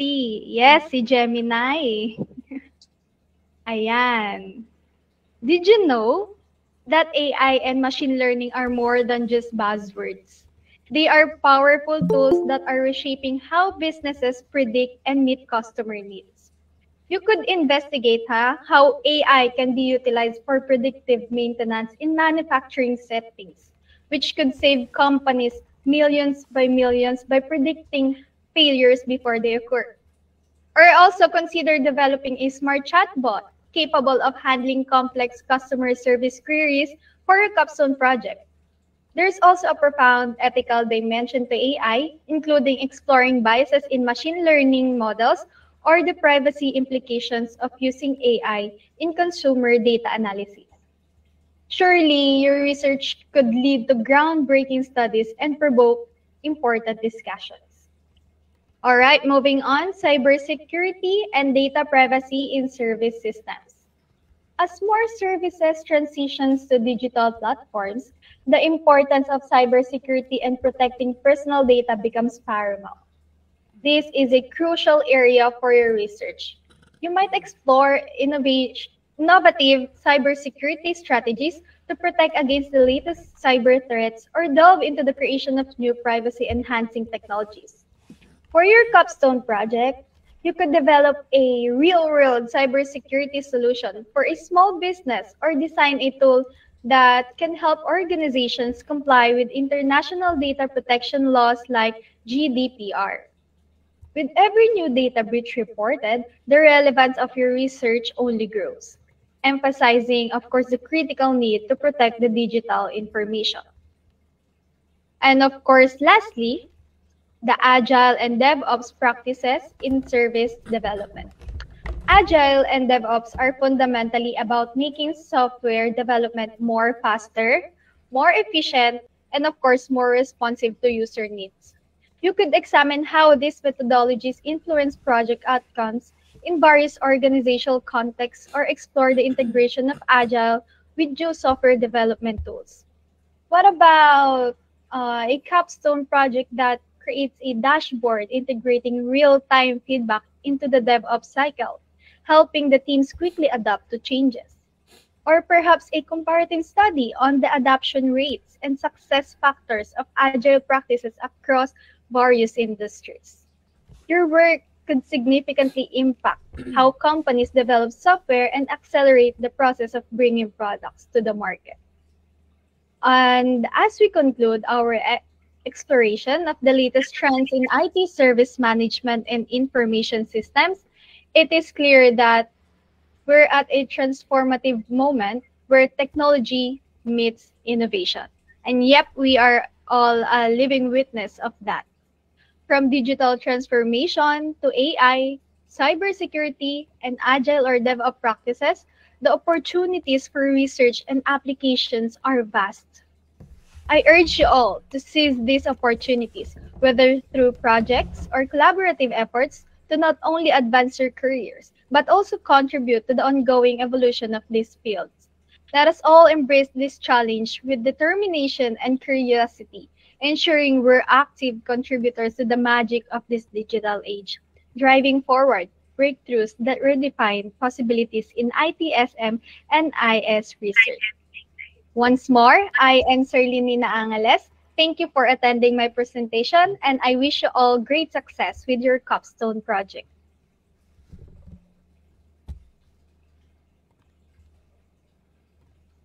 Ayan, thank you so much, Serlene, for that uh, very informative. Uh, we surely get updated tungkol sa mga uh, ideas about kamusta na ba ang mga trends about SM and IS in today's fast-paced world, di ba? And we can surely apply those ideas in our research and capstone.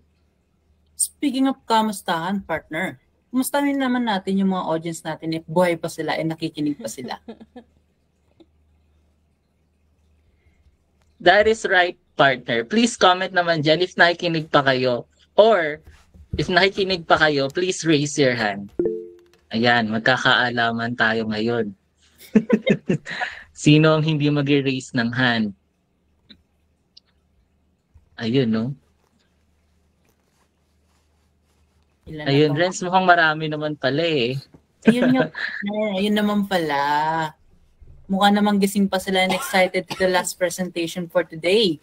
Let's ignite the flames of knowledge as we welcome our final speaker for today with great anticipation. Once again, let's extend a warm virtual welcome to the co-owner and COO of Results Marketing Partners and the CEO of Kabayan Marketplace Solutions.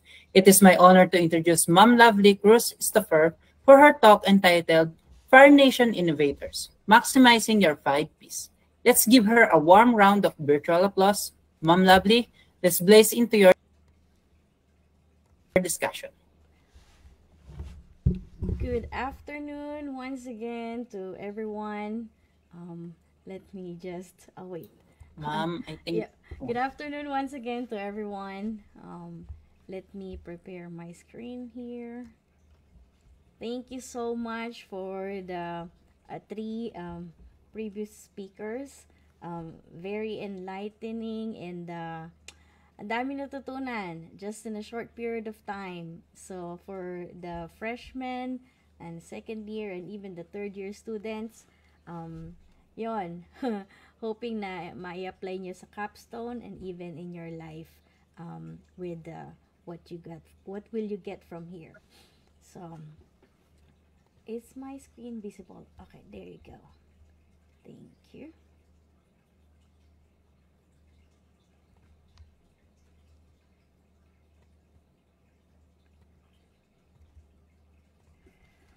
Fire Nation Innovators, maximizing your five, five Ps. So, strategically prepare yourself for capstone project and life in general. So, the importance of innovation, I appreciate na na-touch ni Ma'am Jo kanina yung um, importance of innovation. And uh, innovations are crucial for the Philippine economy for several reasons. They drive economic growth, enhance competitiveness, and can significantly improve the quality of life for, for its citizens. So I gathered several, um, like, for the sake of slides, um, two um, innovators that's been awarded. So first is um, Edwin Bautista, CEO and President of Union Bank of the Philippines. So he said, think of innovation as a total business model business model transformation. Look at the tools and technology to make this happen, but most importantly, put together a culture that supports all of this.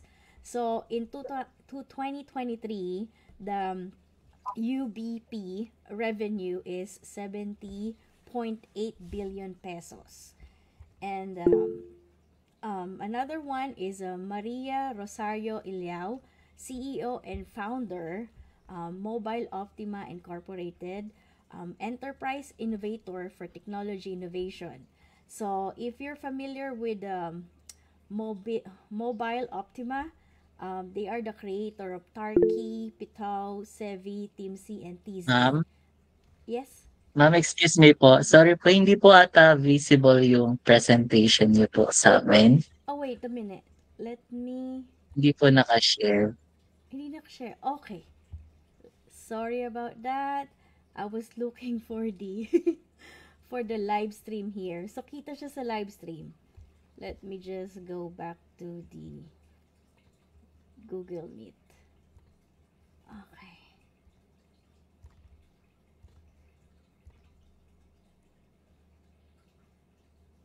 Can you see it now? Or it's still loading? Okay, there you go. Ay na po. Thank you po. Okay. Apologize for that. I have two screens already and managing several windows. so bear with me. Okay. So like what I've said, um, for this uh, importance of innovation, um, like what we said here, um, Maria Rosario Ilao said, more and more local companies have acknowledged that technology and innovation should be the core principle principles of their organization. Um, and like what we usually hear, do not despise these small beginnings. So I was looking saan nagmula yung quote na yon and uh, just like to my surprise, it came from the Bible.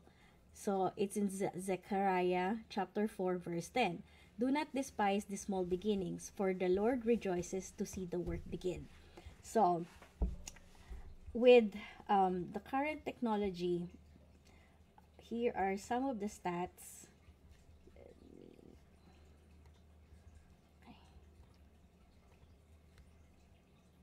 So just in the in the Philippines, this is a Philippine setting, top three major industries with largest increase in employment year-to-year comparison. So if we look at it with the administrative, um, usually for like administrator, like computer work, um, customer support, and everything. Um, so look at the increase of uh, the employment. Um, construction, of course, the more technology that you use, the more advanced and the more that you make projects. And as well as the accommodation and food services. Kung walang mga Airbnb or booking.com or TripAdvisory and even Facebook and Google, you know, um, dati mahirap pang magpabook, makahanap ng mapagbabakasyonan. Ngayon, just browse online, then there you go. So, at the same time, by 2033, yep, tech skills will be vital in all job sectors and 75% of American workers are effectively upski- upskilling to meet this demand, leading us to believe that 2024 will show hundreds of thousands of tech jobs positions open with fewer technologists to fill those roles. So listen to that.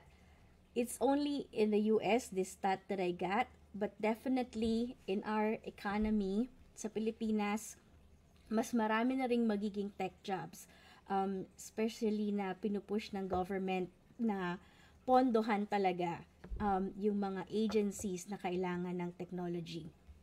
And don't be afraid, despite of layoffs, di ba narinig natin yung mga layoffs from big tech, si Google, si Amazon, si YouTube, um, Netflix, nag-lay sila. But then, despite of that, uh, work, work or jobs for um, IT people are still growing. So that's why marami na ngayon ang uh, work from home. And what is the relation of that? Okay? What is the relation of innovation in your life? I would like you to um, think of your mission. Okay? So, with that, your mission or calling, you should think of your passion, your gifts, and God's purpose. So, with that said, um, but currently, ang nagiging problema natin is our society are now um, have a growing numbers of people who are not thinking about life is a mission. They tend to live in a day by day or just to survive, lack of future plans and dreams. So, with that said, what is our first P? Our first P is purpose. So, why? How many why did you ask when you are grow when you are young? So, di ba, um, we ask like, bakit, bakit cool, uh, blue ang kulay ng langit? Bakit, you know, bakit yung ibon um, hindi nakukuryente kahit dumapo sila sa wire, sa poste, and stuff like that. Bakit ako may anino? etc. So, it is part of their it is part of our cognitive development. Um, as children grow, their cognitive abilities expand and they become capable of more complex thought processes. Asking why helps them to develop critical thinking skills and build their reasoning abilities, and sometimes just out of curiosity. Fast forward, what happened after they reach 16 years old and above? So, here are some of the um, percentage of dropouts. Survey have indicated that a significant portion of college dropouts, sometimes around 20 to 30 percent, cite lack of interest in studies or uncertainty about their education or career goals as a key reason for leaving colleges. Change of major. Data often shows that a high percentage of students, up to 50% in some studies, change their major at least once during their college career. Uncertainty about their major can contribute to dropout rates. Students who change their major multiple times are more likely to drop out. Career uncertainty. A significant number of students enter college without a clear career path, which can lead to challenges in maintaining motivation. So, just a quick sharing. Teaching, particularly um, BS Ed Computer in Major, um, that's not my first choice. My first choice was um, to enter in a college where, and um, BS Psychology. So, sa VidGnet, yung high school book book namin, um, the annual book, yun yung nilagay kong ano, course, BS Psychology. But because that time, it was not um, offered in BSU, um, so I decided to uh, change into Edu. Nung grade 3 ako, gusto ko talagang maging guro. So, yun yung ano ko. And, um, by God's grace, College of Education um, is was offering, I think we are the second batch of BS Ed major in computer. So, you'll never know. You are here for a purpose. So, again, your passion, your gifts, God's purpose, your calling, or your mission. So our purpose should be aligned with our goals. Always remember remember that.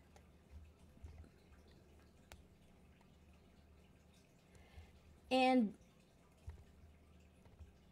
research suggests that students who have defined defined career path and receive career guide, guidance are more likely to per, persist and graduate. So, kaya yung mga teacher nating supportive, yung mga prof and mga friends natin, um, be thankful. Be thankful for their lives. Mhm.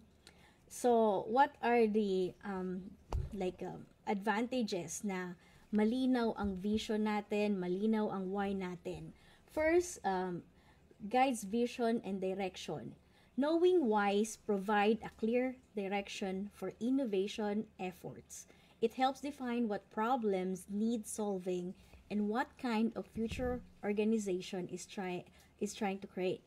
This purpose-driven approach ensures that innovations are aligned with the long-term goals of the organization and resonate with its core values.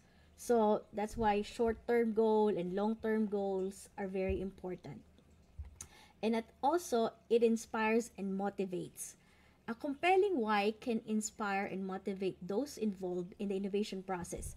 When team members understand and believe in the purpose of their work, they are more likely to engage deep, deeply, think creatively, and commit to achieving the best outcomes. This intrinsic motivation can drive sustained effort and resil- resil- resilience of the fa- in the face of challenges. So, um, yeah, and uh, um, it says that the purpose of a person's heart are deep waters, but one who has insight draws them out. Proverbs 20, verse 5. Um, so if we think about it, um, yeah, we need to, right now, while you're listening to this webinar, you gotta think of your whys, okay? So, also for me, oh, I recall while doing this uh, message, I said, what are my whys um, for finishing college or getting an education?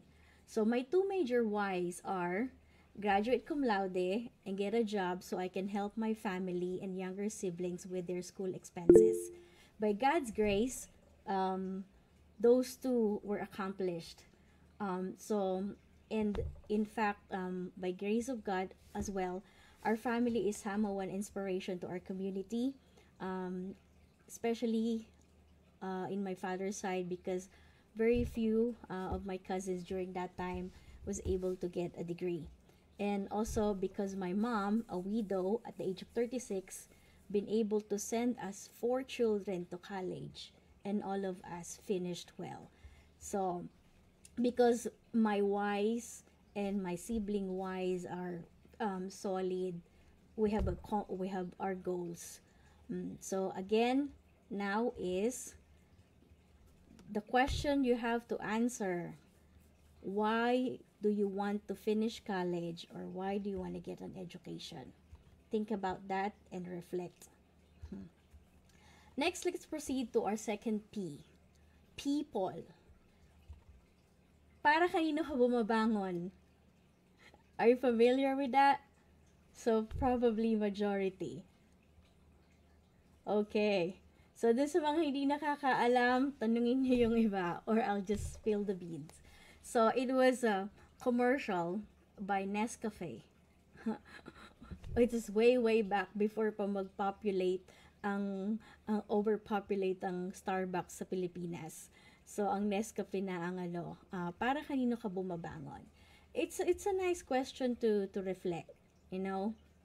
And, um, one of the key person in um, United States uh, success is uh, Eleanor uh, Roosevelt, the first lady of the United States uh, from 1933 to 1945.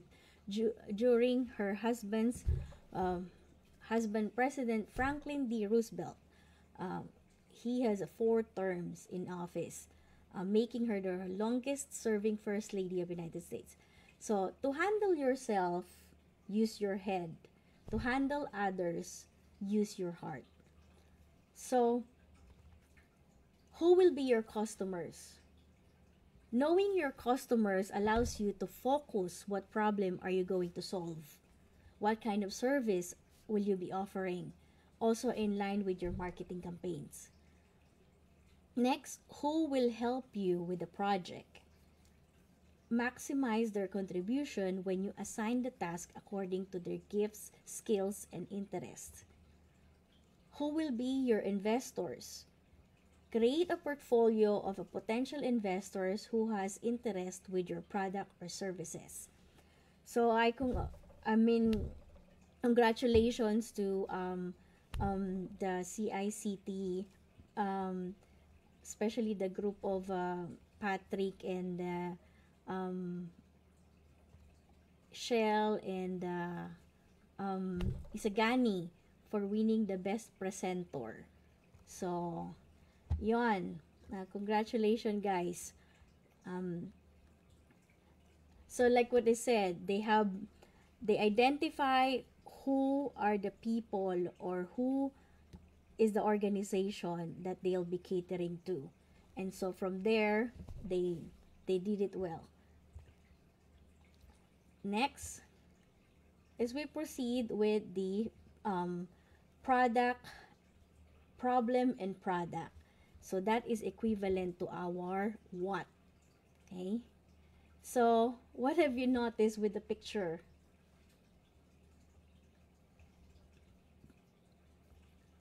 So with this picture,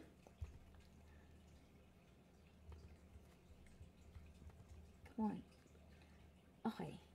So outcome thinking versus um, problem thinking by Chris Ryder, an experienced IT service desk manager and a certified NLP practitioner.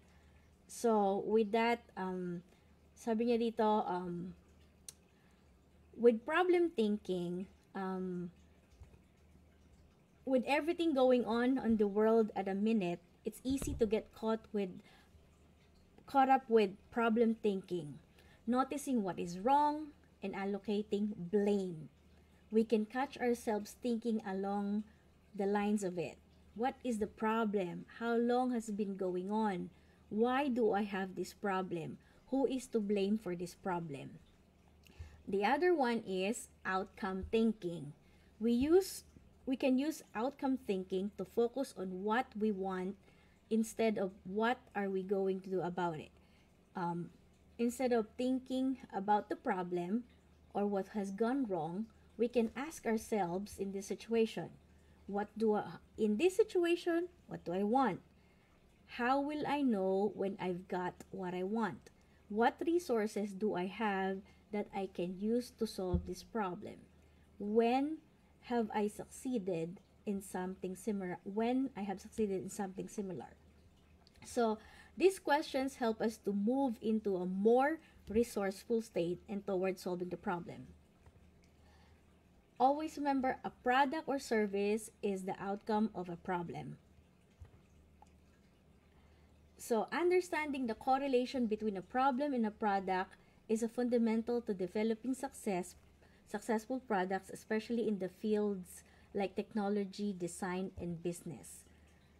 So remember, not all problems are bad. Just think of it as an opportunity to learn and grow. Moreover, it can even produce wealth. So I did not include in my presentation um, some examples of a um, successful company um, dyan sa Pilipinas who are, are innovators and uh, they think of a product or service because of the problem. Okay, number one for me here is uh, Mint. So Mint is a mother or parent organization of GCash. Mint operates GCash, which one of the leading mobile money and payment service in the Philippines, recognizing the problem of limited financial access to the majority of Filipinos. GCash provided a digital platform for financial services, including transfers, bill payments, and mobile. Mobile commerce. It has significantly impacted financial inclusions in the country and where many still do not have access, access to the traditional banking.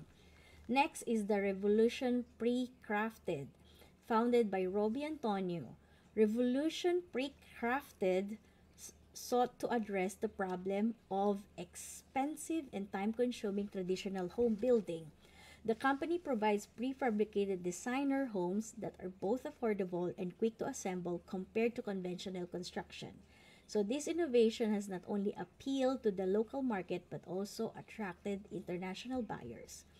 And then for international examples, you know, Airbnb, Amazon, and Square. So all of all of this company just um, relate to their personal experiences on, on a certain problem. So sa Airbnb, uh, Brian, Cheska, Joe Gebbia, and Nat- Nathan Black Chazars um, created an Airbnb out of a problem they faced themselves lack of affordable lodging options during a large convention in San Francisco. Excuse me for a bit.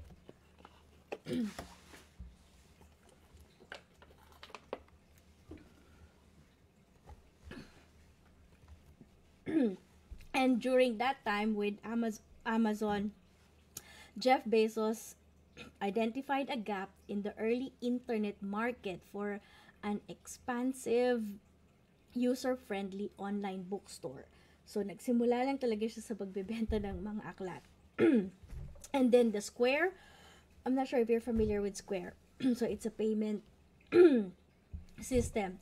Jack, Jack Dorsey and Jim McAvey founded Square because they lost a sale because they cannot accept credit cards. So imagine that. Mhm.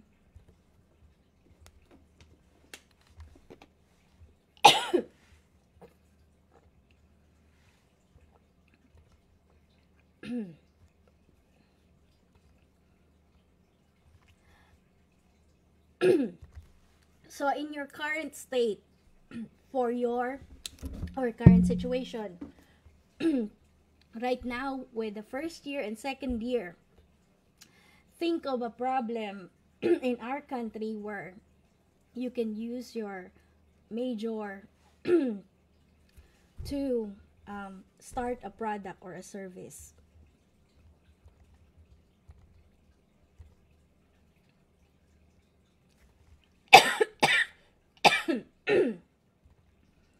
Next is our plan and process. Benjamin Franklin, one of the founding fathers of the US said, by falling by, by by failing to prepare, you are preparing to fall to fail. By failing to prepare, you are preparing to fall. I like the was that six P's of Mom Jo. so um yeah, thanks Mom Jo for that.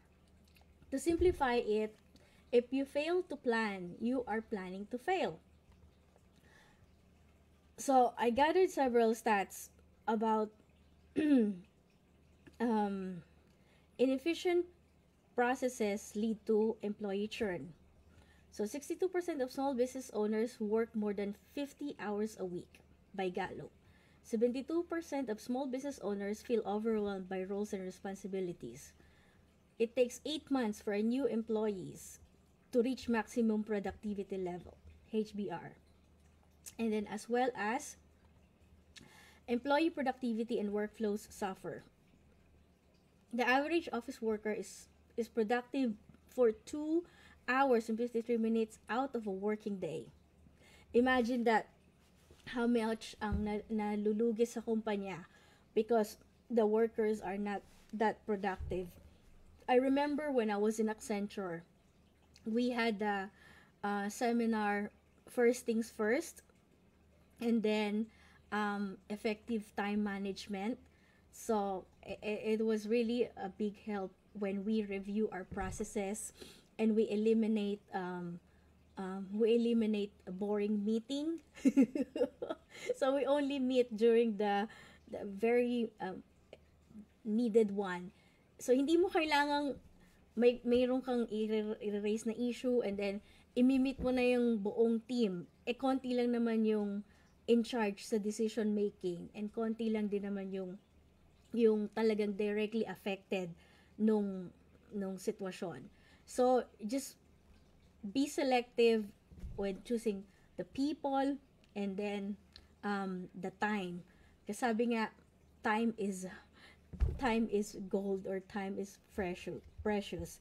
So employee productivity and workflow suffer. The average office workers and then employees spend 1.8 hours daily searching and gathering information.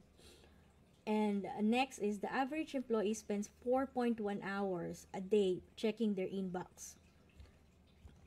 So, what also at least 40% of all businesses will die in the next 10 years if they do not if they don't figure out how to change the entire company to accommodate new technologies. And also, um, I've created a simplified plan to help guide you towards a create creating a standout capstone project.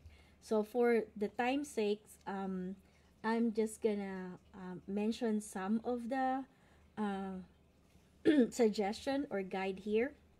The one that Mom Jo um, shared earlier was also very beneficial to all of you. Um, choose a compelling topic, conduct thorough research, plan and structure your project, assemble the right team, execute your plan, focus on quality and originality, prepare a compelling presentation, seek feedback, and the final submission, and reflect and improve. So, each steps, meron siyang um, underlying steps then. So, because of time's sake, I'll just um, create a PDF of this and share it to you guys.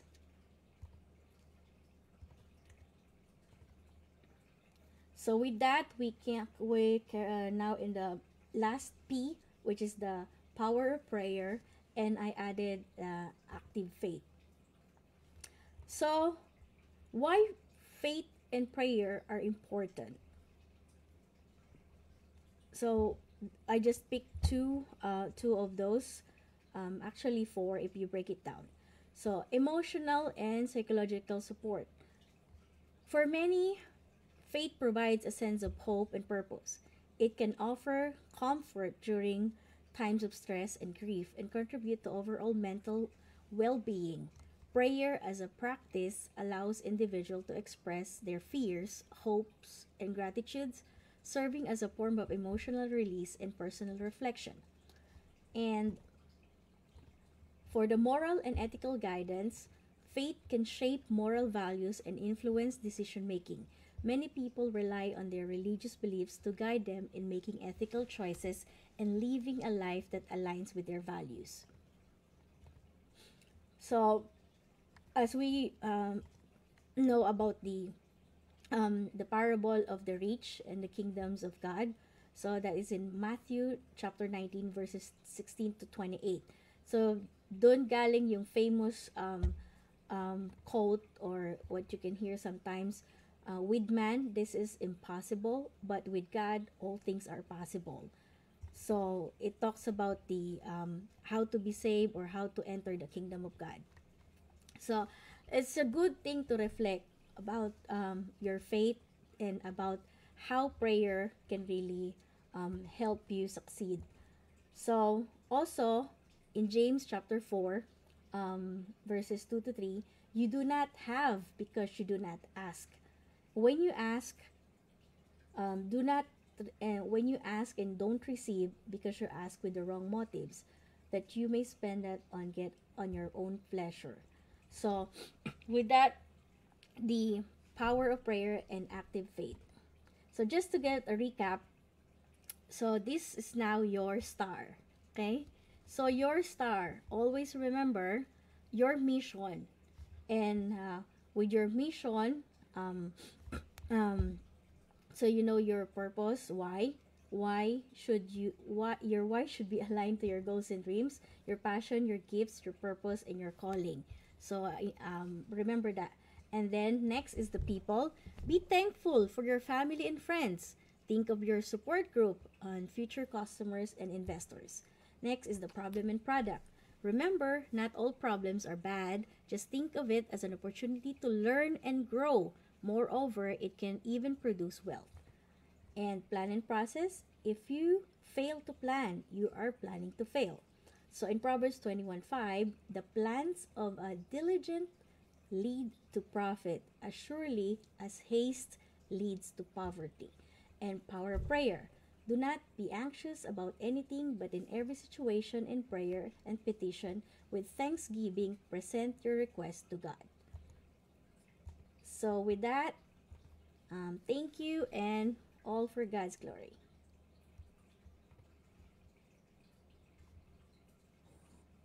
Ayan. Thank you po, Ma'am Lovely, for that exceptionally enlightening and insightful presentation. Your expertise has shed a brilliant light on our understanding of the five Ps.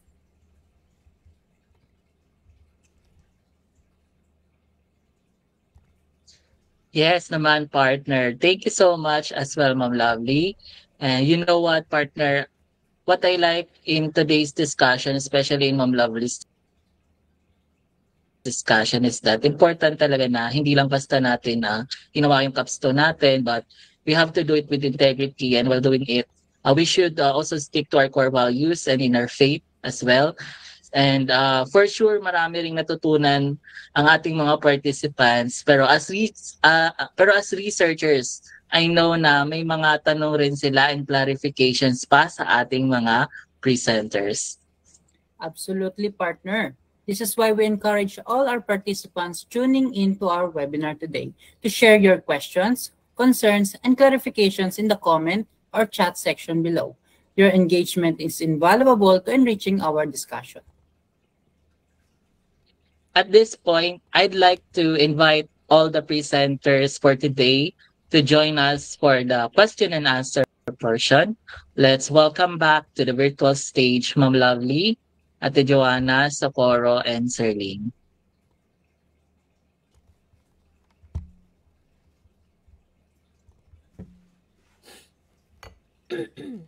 So guys, uh, we encourage you to ask questions. So, and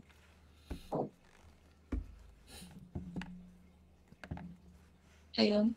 And sa ating mga presenters kanina again, I invite you to the virtual stage, so open your cameras.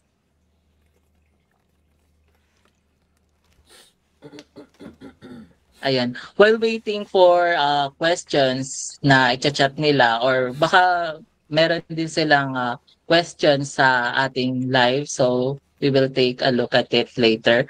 Meron po tayong uh, question and answer portion din sa ating registration form. So, ayun, we extracted some of the question de- questions there, so we will present it and we will ask it to our uh, mentors for today. So, first question na nakuha po namin sa ating uh, chat box, I think para po ito kay Ma'am Lovely. So, the question is, how can an understanding of the five Ps can uh, help in identifying and mitigating risk in IT or IS projects? Can you give an example of project that failed to integrate one or more of the five Ps and the consequences of that oversight? So, ayun. Medyo mahaba ko yung tanong niya, pero, ayun. Ma'am Lovely? So I can only answer the first part of the question because uh, right now, um, can you give an example of a project that failed to integrate one or more 5Ps? So I think that one pwedeng sumagot nun ang mga senior na nakatapos na sa kanilang capstone. Um, reflect ninyo uh, which of the 5 Ps ang hindi um, like hindi nag uh, hindi nagamit or hindi na maximize doon sa capstone that ended up not really performing well. So for me, um, like what I shared, um, napaka-basic lang naman nung 5 Ps. If we look at ourselves and if we look at our, like, um, how should I say, our surroundings, 'di ba? So, kung hindi mo talaga maunawaan yung purpose mo, so what happened is, we only do, sometimes, we do certain things just to comply. Eh, requirements lang naman ng capstone eh. So, I'll just do the capstone. Let's say, que sera sera. You know what's que sera sera? Whatever will be, will be. so, so, ibig sabihin, hindi malinaw yung purpose niya. Okay? So, he just want to comply. It's just a requirement. So, hindi nilagay ang puso, hindi nilagay ang, ang kumbaga, hindi nag-effort, so to speak. So, if you failed that first P, for sure, the rest will be also kind of like a challenge for you to to integrate everything kasi mali, hindi malinaw ang why mo. So ngayon, hindi mo rin alam sinong businesses ba tutulungan mo, sinong mga tao ba ang maapektuhan, etc. Oh, and then at the same time, malabo yung maikakandak mong title or malabo yung maikakandak mong um, papers presenting the product and the problem kasi nga hindi malinaw sa'yo ang purpose or hindi mo talaga isinapuso yung capstone. And then, the plan and the process at the same time, yung documentation mo mafe-failed, and then, um, or sometimes, rush-rush mong ginawa, tapos, oh, kulang pala, then uulit ka uli. So, you wasted a lot of time. Just like what uh, um, um, somebody shared it on the initial um, talks. And of course, I do believe that our faith is very important in making those things happen because God designed us for a purpose. So, yun lang. I don't know if somebody can Ayan. share with their personal experience of the capstone. Mm.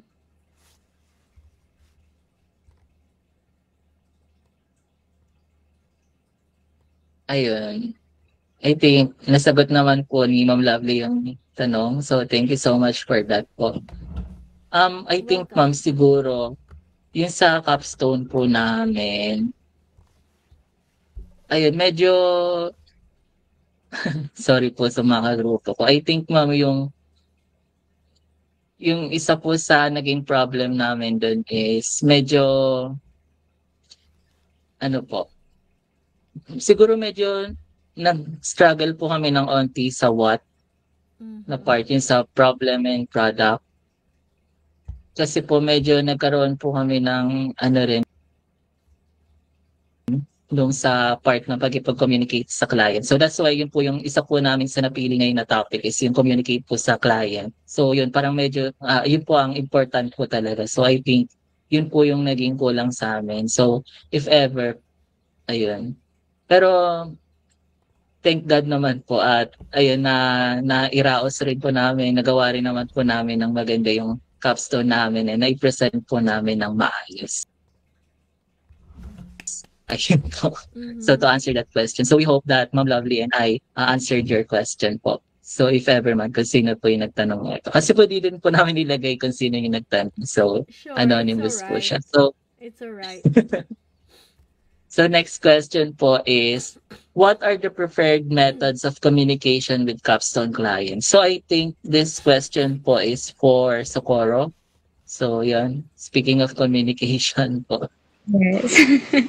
yeah, um again, thank you so much sa nag question so we can share it also to others. So yeah, um the preferred methods of communi- communication so we can share it also to others. The first thing that So, we yeah, need to consider um, the is our preferred methods of clients. communi- we need communication ask with them first what clients they also prefer. to The first thing that communication. but we do have here like three three um first is the email which is for detailed statements and sending documents also second is phone calls for immediate personal conversation and clarification of important matters lastly is important meetings for deep com- uh, discussion and i mean in-person meetings for deep discussion and understanding of our client needs. So we need to make sure that on our first meet, we need to ask this first as well because we need to, just like I mentioned in my part communication, is we need to know what they really needs and ano ba yung ina-expect nila dun sa magiging um, pra- custom project natin. Ano ba yung magiging outcome? So we need to be keep them updated as well and yun lang yung naman- na-mention ko na tatlong preferred methods of communication. But I know we do have a lot of methods on it. But it is the most common use. And we also use this on our capstone. Uh, just like Jerome mentioned. So, ayun, I think kailangan lang din natin ma malaman sa client natin ano ba talaga yung preferred time and preferred ways nila para ma-communicate natin sila.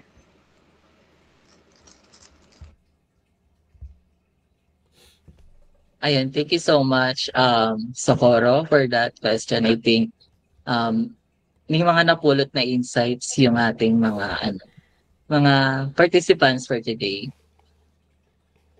Yan. For the next question, honestly, it's been difficult for our team to structure our document. In such manner, like what to put here, put there, there is no exact gui- guidelines of the document's contents. I think mag fall ito kay Ate Joanna. I understand your struggle, guys, kasi personally na-experience din namin yung ganyan. Ang may papayo lang namin is communication with your instructor or coordinator is the key. Maging proactive kayo sa pagtatanong. Miski sa client nyo, lagi kayong magtatanong kasi trabaho naman, trabaho naman nila yon. Responsibilities and duties nila na sagutin kayo sa mga nagugulan kayo, lalo na dito sa formatting uh, always communicate lang sa instructor tsaka sa coordinator regarding the regarding sa specific topic ah sa specific formatting nyo. Lagi lang magtanong. Ayun. Thank you so much, Ate Joanna. So, ayun nga tulad ng sinabi ni Ate Joanna, um, kasi minsan po ay nagkakaroon talaga ng mga updates sa mga uh, format, sa mga ano, hindi po natin maiwasan yun. May updates po talaga. Tapos, depende rin po yun sa project. Minsan, kapag, uh, ayun, iba yung project, medyo may, may, may ibang requirements yung project. So, doon din po dumidepende yung kung, kung paano natin i-format yung mga capstone natin. So, as what uh, Ate Joanna said, uh, meron, yun nga po, tulad nung sa uh, presentation din ni Socorro, it is important din po na hindi lang tayo sa stakeholder or sa client makipag-communicate. Makipag-communicate din po tayo sa ating mga capstone coordinator dahil yun po yung duty po nila na i-discuss sa atin or ipaliwanag sa atin kung paano po tayo mag-format ng ating mga documents. So, yan for our next question. We have, how does capstone being presented and when do we need to present our capstone project? So,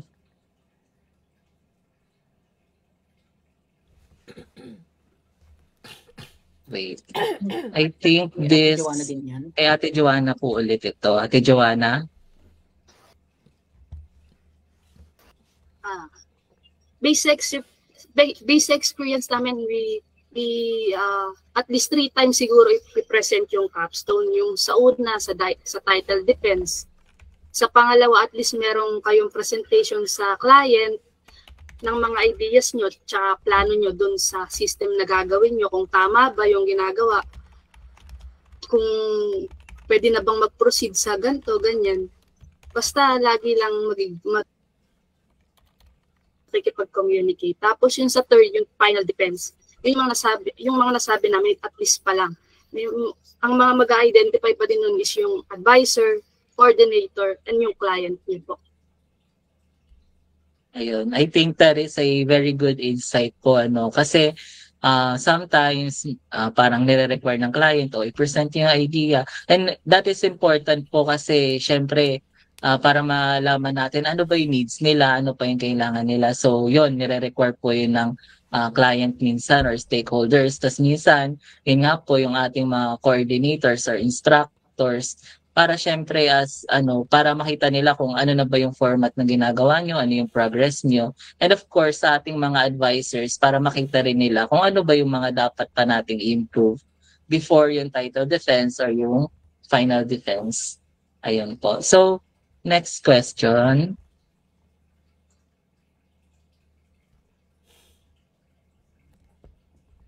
I think hindi siya question. Then, I think opinion siya. So ayan, stated na I am interested in the process of the project capstone research and in dealing with clients. On top of that, I am interested in blending the current trends in social media research and information systems. Research to keep my research fresh and relevant. I think kay Ms. Sarlin ito papasok. Yes, and I think pwede rin to kay Ma'am Lovely since 'di ba in results marketing we also have uh, social media marketing. So, Ma'am Serlin, ay Ma'am Serlin, Miss Serlin and Ma'am Lovely. Ayan.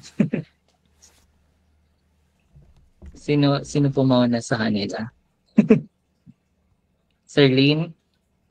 Ah, yes, I, sige. I think si na. Starlene po. Okay, go. Ah, yes, I highly uh, agree to that. I can say that dealing with clients is very important. Uh, kasama ng yung capstone project.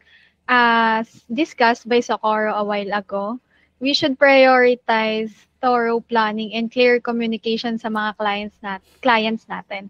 And as for uh, about blending current trends in social media and in information system research, I think to incorporate cu- current trends in social media and information system research, uh, I think we should conduct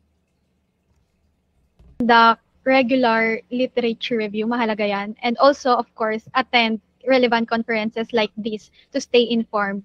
Uh, also, there are a lot of applications and trends there you might not familiar yet. If you would like to learn more about there, there will be another webinar tomorrow which will tackle emerging technologies in social media. Just register there and you'll surely learn a lot from that webinar. Ayun. Eh, Again, Ma'am Lovely. I agree with um, Sarlene. Um, napakaraming uh, para ilagay lang sa isang webinar. So that's why we split it up. Um, so this is an open uh, like a invitation um, na any one of you who are interested like keep in touch with um, our organizers and with us personally and dun sa group. The purpose why uh, the Facebook group um, got created um, to help you guys with your capstone um, inquiry and uh, um, ideas and it's a support group. So we are um, oh, we are social person na uh, nandito para tumulong sa inyo Mhm.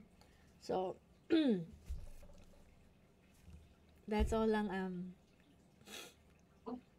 Jerome Ayun po. Ah, thank you so much po, Ma'am Lovely. I think ah, nasagot.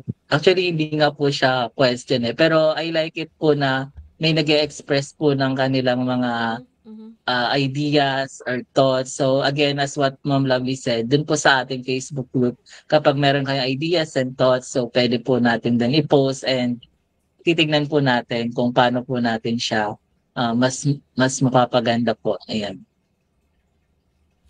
And for the next question po is, I would like to know what are the suitable capstone projects that are made for SM track. I think it's for Serlene again. Go ahead, Serlene. Yes. Um, in terms of uh, capstone projects for the service management track, actually there are several exciting avenues to explore. One option could involve leveraging emerging technologies like nang diniscuss ko kanina, and also operations, especially when it comes to business. Or best example nito is e-commerce. Dahil aminin natin mostly sa atin na ay gumagamit at very mabenta sa atin ng e-commerce because of several things that we can consider. When we look at it kasi, SM Track are usually aligned siya for business management. So when we say that, we mean by operational efficiency and customer satisfaction. So I highly suggest that humanap or look for business, may it be small or big business, and define what sector they are lacking of or sa tingin nyo, kaya nyo pang may improve sa operations nila. So I think ang keyword natin dito is business.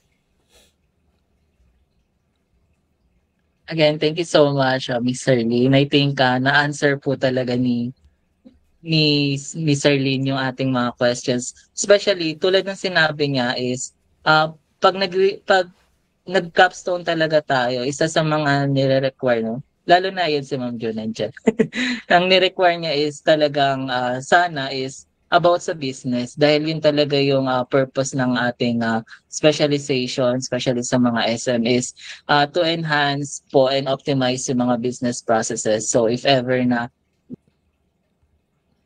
gagawa tayo ng solution sa ng mga solutions is sana is related talaga sa businesses. Ayun po. So next question is Renz. question is, are there specific expectations regarding frequency of updates, channels of communication, or protocols for scheduling meetings or presenting progress reports?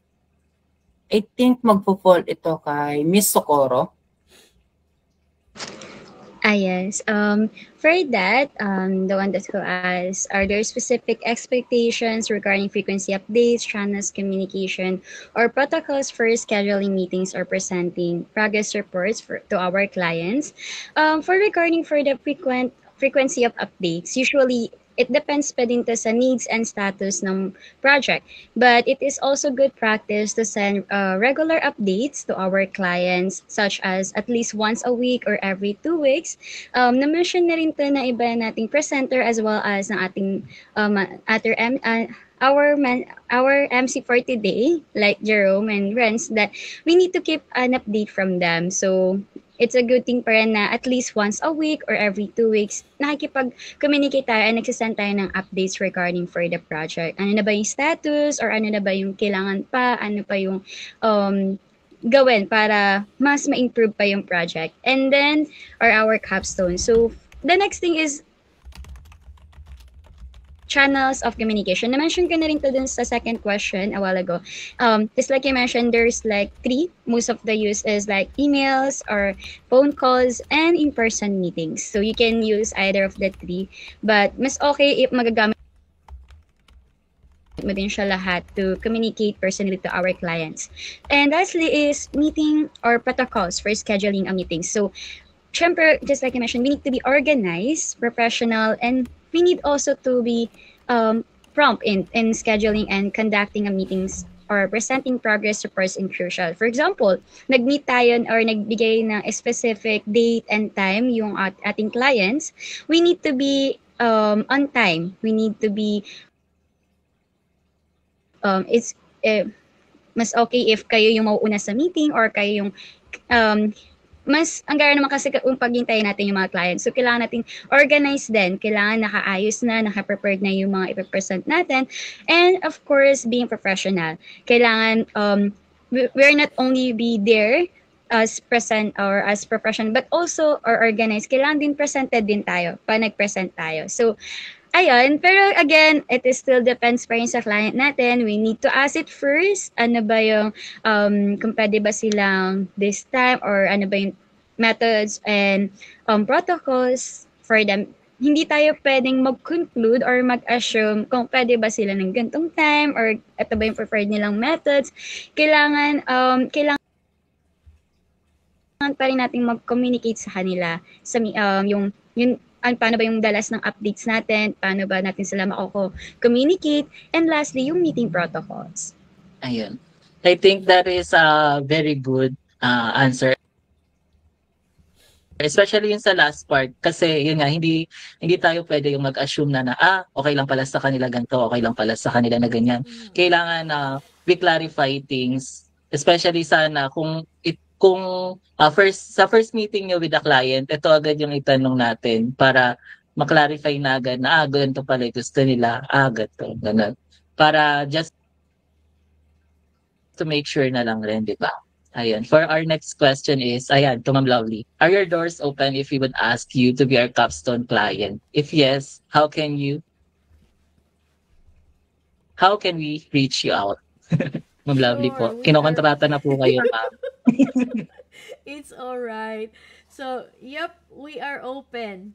And uh, uh, like what I s- said to Ma'am Jo um, with our previous meeting, yep, um, very, um, very, like, we're willing to accommodate as many as you would like to. Because, see, here's what happened. Um, we would like to bring um, like kung ano yung mga meron dito sa US and other countries na wala dyan sa Pilipinas that we can um, help our government and particularly schools, hospitals, and uh, um, other um, basic na pangangailangan ng community natin. So, yep, there, there, sabi nga, with innovations, especially in technology, kind of like sky's the limit. But of course, we always filtered it through the ethical and moral values of our country Mhm. in a biblical aspect. Yep, just send an email or submit your proposal and uh, contact via Facebook. Mhm. Or you can also reach out to Jen. Jen is very helpful uh, to our company and to this uh, second batch of OJT. So reach out to Miss Jen as well. Thank you. Ayan, thank you so much po Ma'am Lovely and ayan, kontakin niyo na si Ma'am. um, oh wait.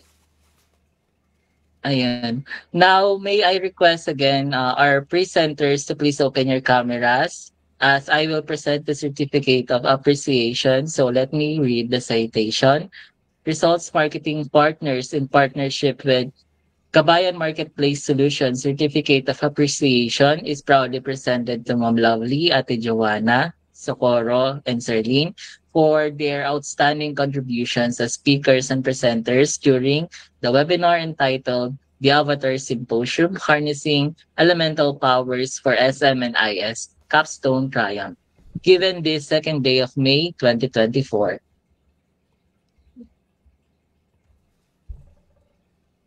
Likewise, certificates of appreciation will also be given to all of the organizers of this event and all of the inspirational speakers we had today. And for you, our dearest participants, we will also give you a certificate of participation once you've answered our evaluation form. Speaking of evaluation form, our our moderator uh, Sander has already commented the link in the chat, the link of the evaluation form in the chat box below. Again, to secure your certificate, please answer the evaluation or the attendance form. And now, partner, do tapos na ang ating uh, mga presentations and our Q&A, we still have our major prizes na hindi pa naipamimigay. Oo nga pala, partner. So, to give the last batch of our raffle draw for today, may we call once more Mr. Clyde and Mr. Sander. Ayan, so thank you so much again, uh, Mr. Jerome and Mr. Renz for introducing us. So this will be the last, last batch of our raffle draw for today. Pero syempre, since kanina ka pa nakikinig dito, huwag mo kakalimutan uminom ng tubig. Stay hydrated, stay hydrated guys. So ngayon, malalaman na natin kung sino ang maswerteng mananalo ng ating grand prize today. And don't worry, kung hindi ka man pinili ng crush mo, malay mo dito, may pagkakataon na ikaw naman ang mapili namin. That is right, partner. But before we start, let us hear from our dear participants once more. I want the participant na mag-type sa ating chat box ng Gcash QT at sama-sama tayo mag-manifest. Malay mo, sumangayon ng init ng panahon sa'yo.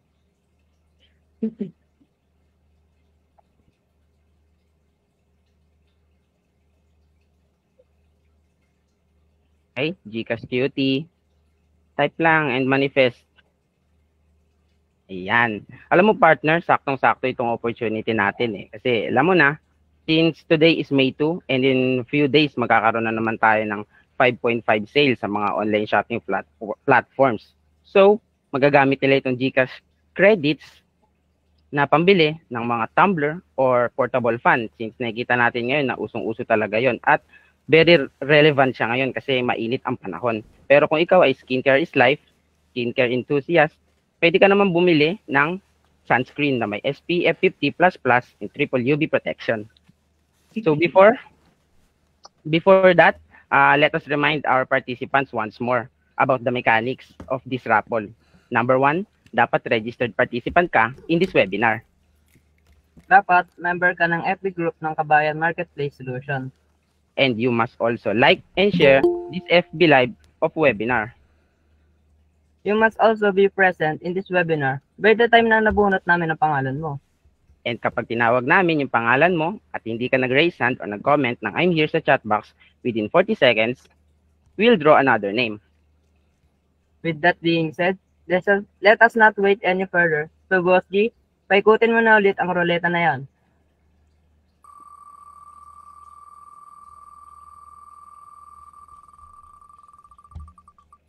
Ayan, sino kaya ang ating lucky winner? And ayan, meron tayong lucky winner. Napakaswerte mo. Tulabot Gian Celine of BSIS 1AG1. Grabe. Parang mostly BSIS ang nananalo sa, sa atin. sa, sa section na naman nila, te. Totoo, totoo. Kaya ikaw ang makakakuha ng Swerte ng 500 section pesos. nila. Kung nandito ka man, kindly raise your hand and type, I'm here. Ayun lang, parang wala ata. Ayun, mukhang another draw. We will wait for you for 40 seconds. If none, we will draw another name. Wala, wala. Sayang naman. Sayang, sayang naman 500 pesos. Sayang naman. So ngayon, you know the rule, di ba? Alam natin ang rule. If wala, magro-roll ulit tayo ng panibagong name. Wala daw siya. Classmate ata ito, wala siya. Wala daw siya. So, sayang. Alam mo na, boss. Okay, sayang. Ikutin mo na ulit pa. yan. Nako, 500 to guys ha. So, tawagin niyo na ulit mga klase niyo.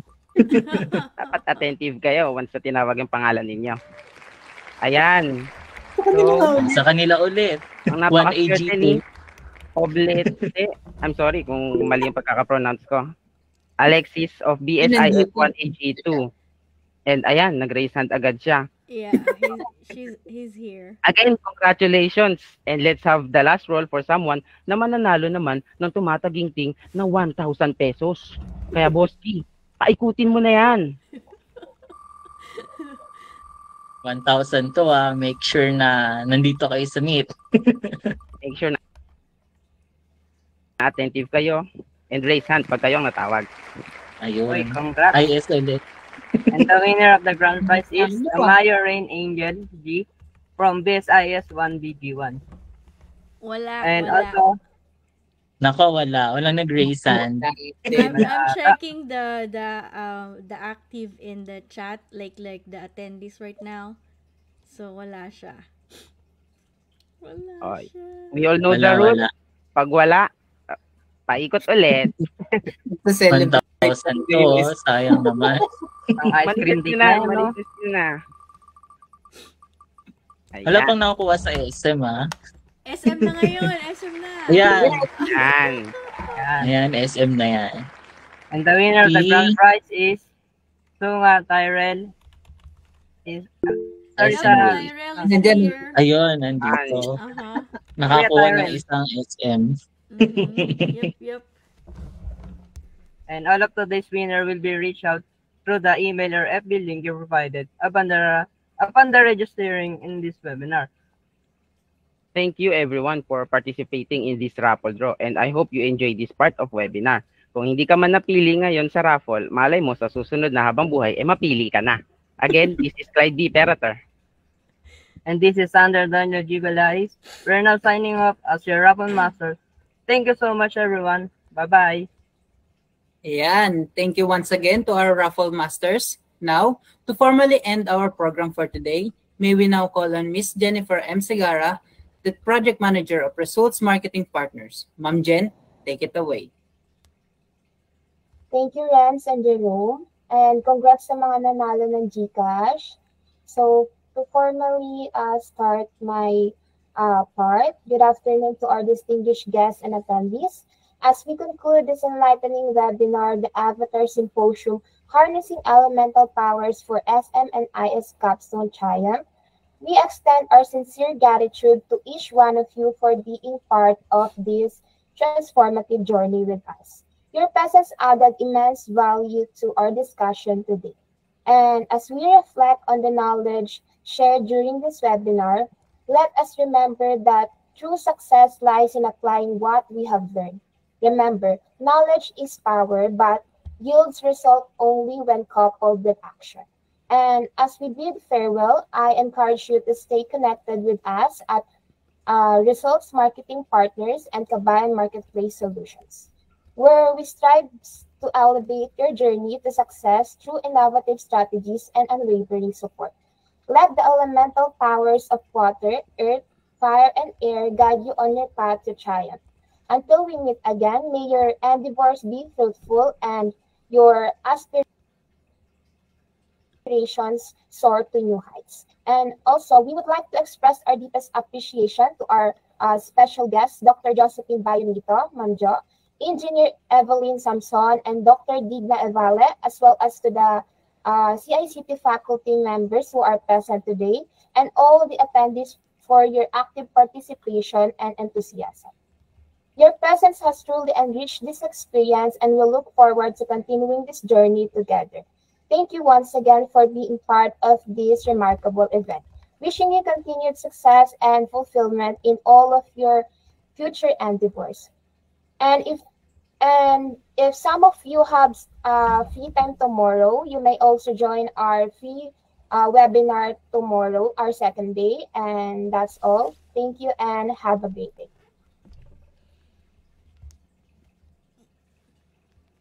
Ayan, Ma'am Jen, your closing remarks were truly exceptional. And I will thank you so much, Ma'am Jen. And I would also like to take this opportunity to, uh, as a team leader and on behalf of the Avatar Symposium team, I, uh, we would like to express our heartfelt gratitude to each and every one of you who joined us today. Your participation made made this event success, and I'm truly appreciative. Looking forward to see you to seeing you all around the campus and to our webinar tomorrow for the next wave of webinar tomorrow. And once again, this is Jerome A. Tayao. And this is Renz Marion, Idel Rosario, now signing off.